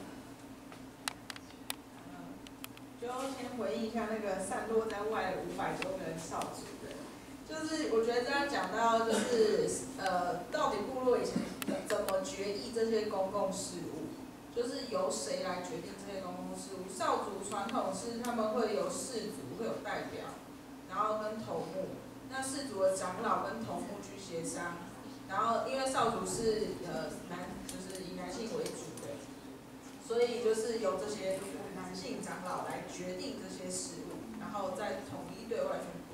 但是因为这些氏族其实它会有就是经过时代的那个力量的消长，所以它必须要跟现在的法就是法定的组织，或者是像现在少族有呃少族文化发展协会这样统一对外的窗口，不然大家就会说要去部落就找谁，随便一个老人家不可能。那现在是有协会，还有所谓的部落会议。少主有成立部落会议，而且已经蛮久的，他是有经过就是算法法法律的那个认定，就是他的决议是有法法律效力的，所以他在就是部落会议上，他其实会有就是一个名册，就是到底有多少人涉少多少哎多少的少主人是涉及在鱼池乡日月村的，他的人数到底是多少？户到底有几户，多少人？然后参与的必须要多少？过一半。那参与的人必须要过一半同意，他才有办法通过。所以我们那时候在，而且这个资讯是公开的，就是如果你觉得你是少主人，然后你要回来参与这个公共事务也是 OK 的。那我们那时候就是决定，就是画好地图以后，我讲的今年十月的那场部落会议，就是跟主人说好。因为呃，它的那个传统绿画社，它必须要有六个种，就是分类，就是包括竹林地，然后像什么猎区，然后居住地，叭叭叭，垦耕地之类的。六张图秀出来，它重叠之后，就是我们要公告的法定范围，就是那两千四百七十七，两万四千七百七十七公顷，就是那时候由出席的族人、出席的户长，来决议过半数通过这件事情，我们才有办法上报。不然如果当天就是投票没有过半数的话，其实我们必须要再再次修正，因为表示这个不是部落的决议。那这就是那五百多个人知道有这件事情，因为是公开的讯息，他并没有回来参与，那他就丧失了他的权利。就是我觉得这是传统的那个力量跟就是现代这种法制化之后的组织，它并行的一个结果。因为其实邵主任也蛮有趣的，就是他开会就不是真的在开会，他其实开会就是一个形式，但是他的他的决议的方式到底是什么？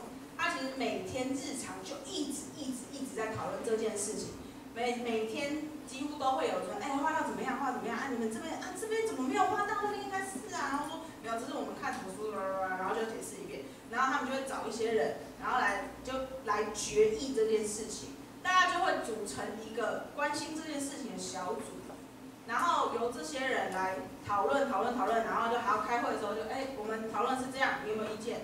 你没有意见，然后就就通过，那就是过半数通过，那就 OK。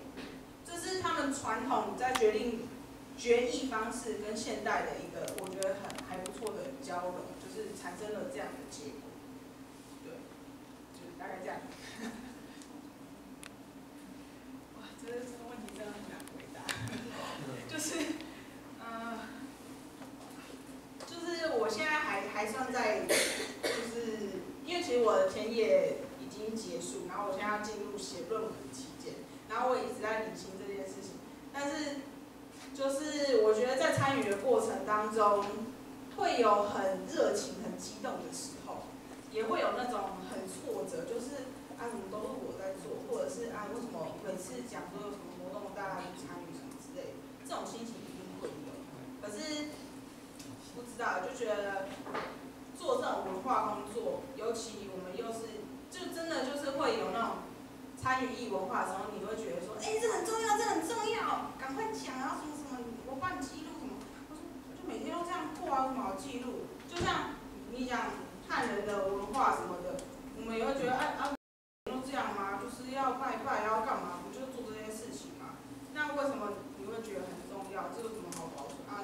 就忘记就忘记了，就是觉得做文化工作一定会遇到这类的事情，当然就是你知道保持信念，对吧？然后因为我我也决定，我就是就算毕业之后也会继续待在那边，就是工作一段时间，就是继续从事这类的工作，对，把它视为一个工作。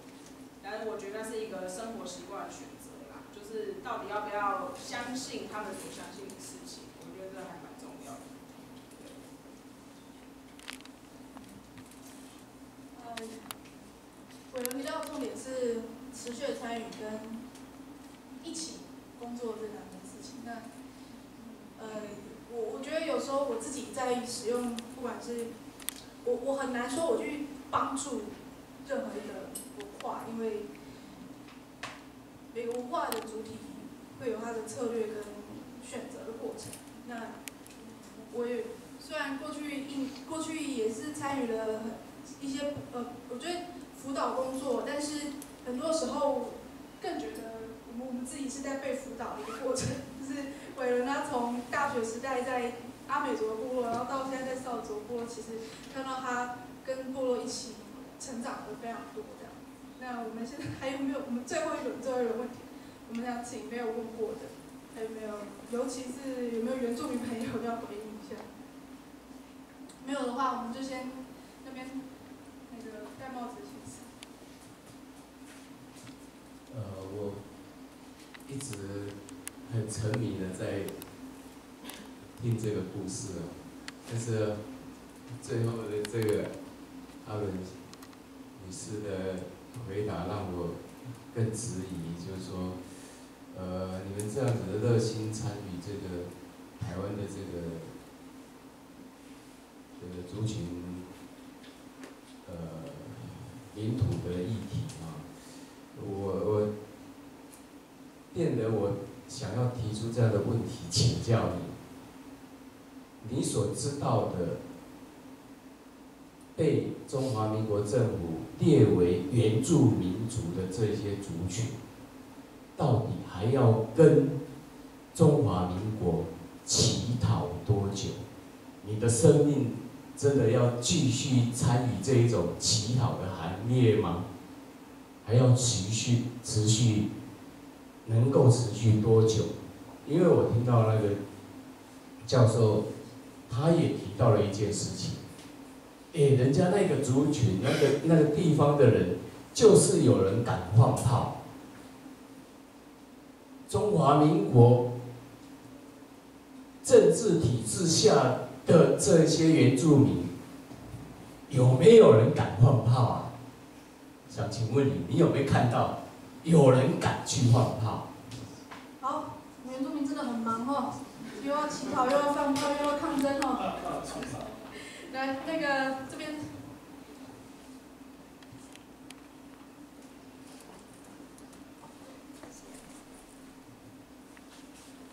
哦，我刚刚有听到蛮多东西，然后其实我是哦，我是撒风安，然后是布农族。然后我所属的组织是原住民族青年阵线，然后可能就是做一个，就是我现在是比较想做一个比较全面的回应，就是嗯，其实从刚刚听下来，我觉得一直有个感受性，就是说，大家一方面觉得原住民的事情很重要，然后一方面又觉得说，好像某种程度会质疑说，原住民自己很不努力，哈哈哈哈对，然后说不敢放炮，但是我可能要跟大哥说一下。就是我今天站在这里，大概就是就是目前原住民青年里面，我们的组织就是放炮的代表这样子，对，所以我们一直一直都在发声，而且我们从来不是在乞讨，我们是在拿回我们的权利。那今天原住民族的社群，我希望大家能够理解的事情是，第一个原住民的社群，它也不是同质性的铁板一块。第一个，我们有非常非常多的族群，每个族群的文化架构，跟他议决事情的方式、做事情的方式、认识土地、认知土地的方式、执行记忆的方式，是完完全全不一样的。原住民族跟原住民族之间的差异，远比原住民跟汉人之间的文化差异是大的许多的。所以“原住民”这个词，它本身就是相对于殖民政府而存在，不然我们就是南岛民族，不然我就是布农族，不然慧道老师叫阿美族，不然以真就是马卡道族。我们为什么叫做原住民族？它本身就是一个相对殖民政府而存在的名词，它不是一个，它其实不应该是一个人类学的名词，或者是。所以你还是穿着他的外套在在玩把戏啊？穿着谁的外套？我觉得你要说清楚这件事情。外套好像是中华民国自己跑来台湾的吼。对啊，就就就是我我会我会认为我们，譬如说我我比较想讲的是说，原住民族今年在现就是这几年来我们在做倡议的时候，我们一直会强调一件事情，是说，今天今天原住民族拿回权利这件事情，不是为了要报复谁，或是为了要把谁给赶走。今天原住民族的传统领域画设，不是为了要叫汉人都去跳海。我觉得这个概念是很重要，就是说，我们重新思考一件事情，就是现在已经存在这块土地上的人们，如何一起彼此互相尊重彼此的文化、生活方式、社会习惯跟制度价值，创造一个新的制度，然后一起好好的生活下去。所以我不认为对原住民族来说，台独是唯一的选项。那统一显然不是选项，因为我们就是要背弃这种单一价值的压迫，我们就是要。打破这种单一价值的压迫，但是打破的同时，如果台独的想象里面只是为了要建立一个另外一种形式的单一价值的话，那显然这不是原住民族期待的目标。那再来，我刚刚提到原住民族不是铁板一块，原住民族有很多历史的破坏跟伤痕。造成在原住民社群内部也有我们自己的矛盾，例如说现代的政府体制造成的这种政党政治的对立、政党意识形态的对立，它是真实存在的。你不能说你想象一个原住民，他出生以后，因为他就是原住民，所以他理所当然懂得他自己是谁。但事实不是啊，我们在整个教育跟这跟这个社会互动的过程，我们也在选择，或者是被选择，被放到不同的分类里面去。我们也在慢慢的理清这些事情，所以它内部的复杂性跟复杂程度非常高。比如说，我们在抗议的时候，我们以前抗议马英九政府的时候，他们就说你们是民进党。那现在蔡英文上任，我们在抗议蔡抗议蔡英文的时候，他们就说啊，原住民投票都投给国民党。可是这些只是拿着你自己的意识形态把别人推到另外一个意识形态框框里的做法，那都是你们的自以为。事实上就是这样，所以不要随便的把原住民族呃选边分类站，就是其实你应该要来的是要做到的事情是尊重我们自己，告诉你我们的选择是什么，而是而不是你来选，告诉我们我们的价值是什么。那你会说，今天原住民族如果选择资本主义的逻辑跟游戏，那他们就怎么样吗？那为什么汉人可以选择，原住民族不能选择？当然，重点就是那个主体性。重点就是那个彼此之间的尊重，只是我想用一点点时间分享，不好意思占用大家时间。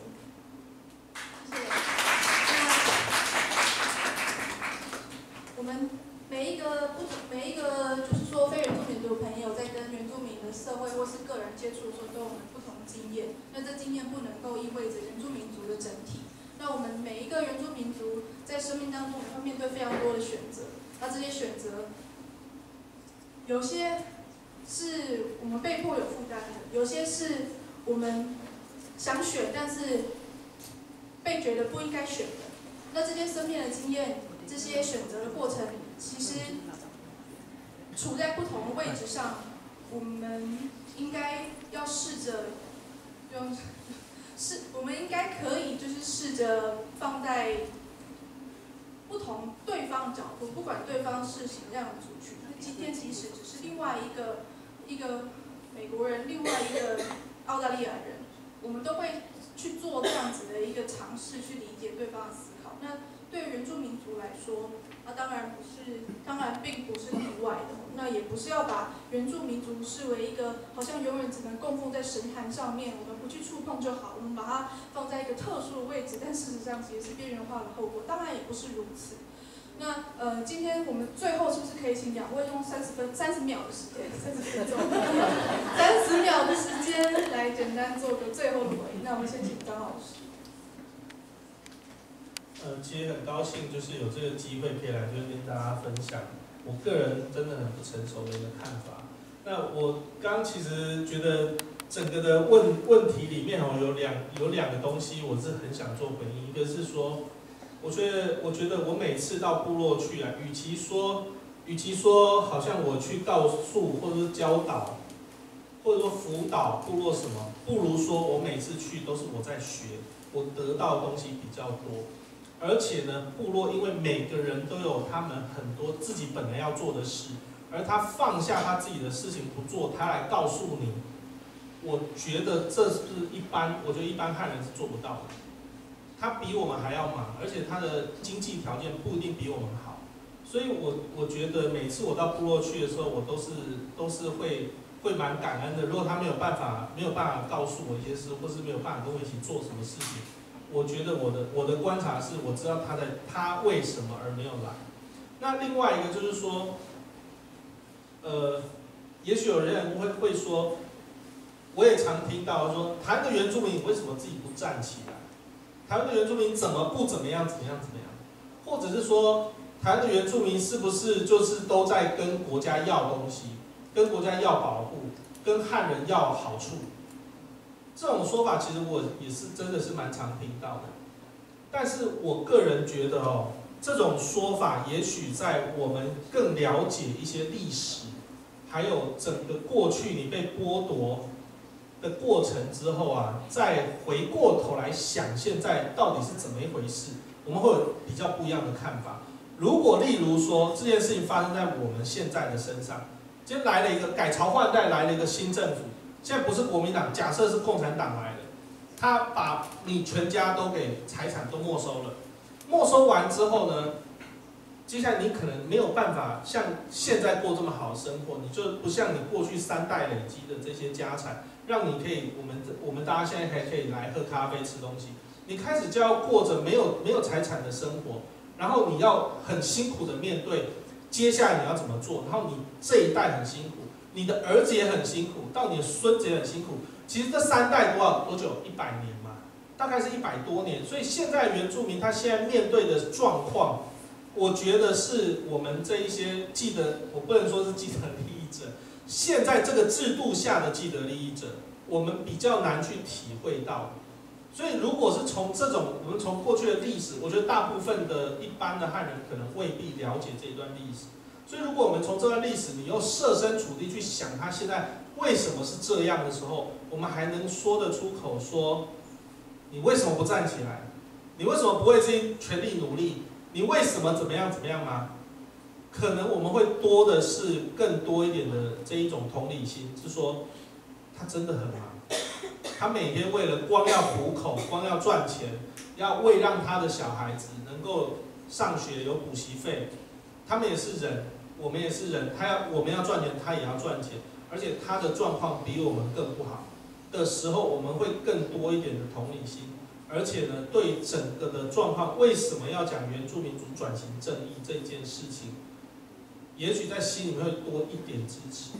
那虽然在外表看起来是一个样子，但是我们知道它内在的原因，还有整个历史文化的因素的时候，或许我们会有另外一番的思考。这个是我自己的反省啊。其实这整件事情，说我在整个过程中也一直在思考这件事情。我们是不是面对这样的声音？呃，因为我个人也没有受到那样的攻击或者是什么之类的，可是我在想想这件事情的时候，我会我会比较从这个这个体谅还有同理心的方向去想这件事情。好，谢谢大家。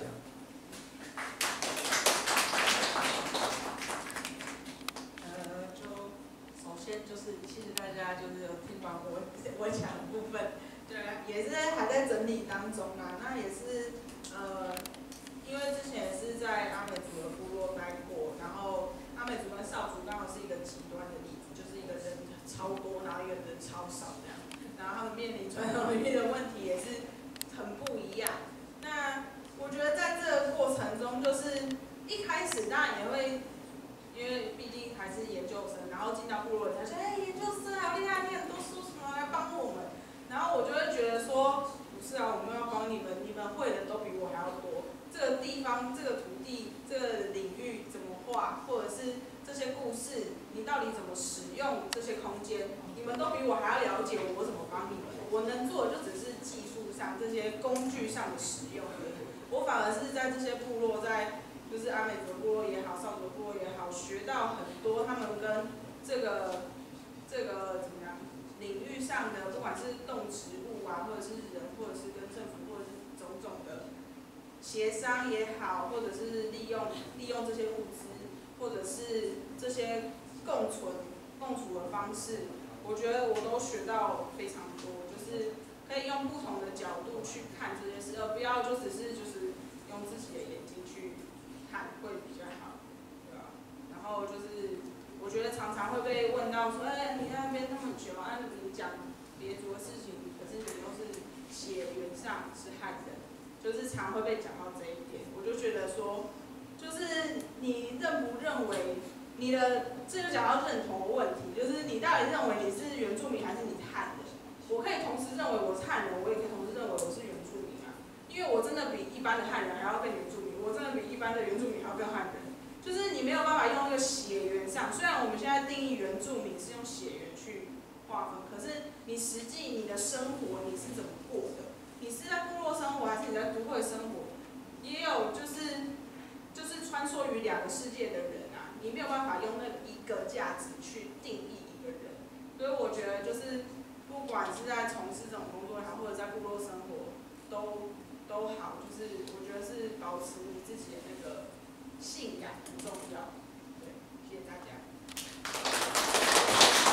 很高兴今天有这个机会，可以跟大家一起思考，就是原住民族在传统领域的议题。那我觉得，呃，不管如何对话跟理解，都还是正在刚刚开始的状态。那不管是原住民族我们自己，或者是呃非原住民族的朋友，希望我们可以继续在原住民族的权利议题上面继续一起努力。那非常谢谢大家今天到来。我们今天的主主办单位是呃就是新平台，然后还有负责咖啡馆，还有原住民族文献。双月刊，那我们下礼拜六原住民族文献双月刊要新书发表会喽。大家如果对原住民族有更多的想要理解的地方，那我们也邀请大家下礼拜六下午两点到四点，同样在这里，我们要把原住民族文献的新书在这边做一个发表。然后我们的主题是从主体的视角从原住民族的视角来阅读文献。好谢谢大家。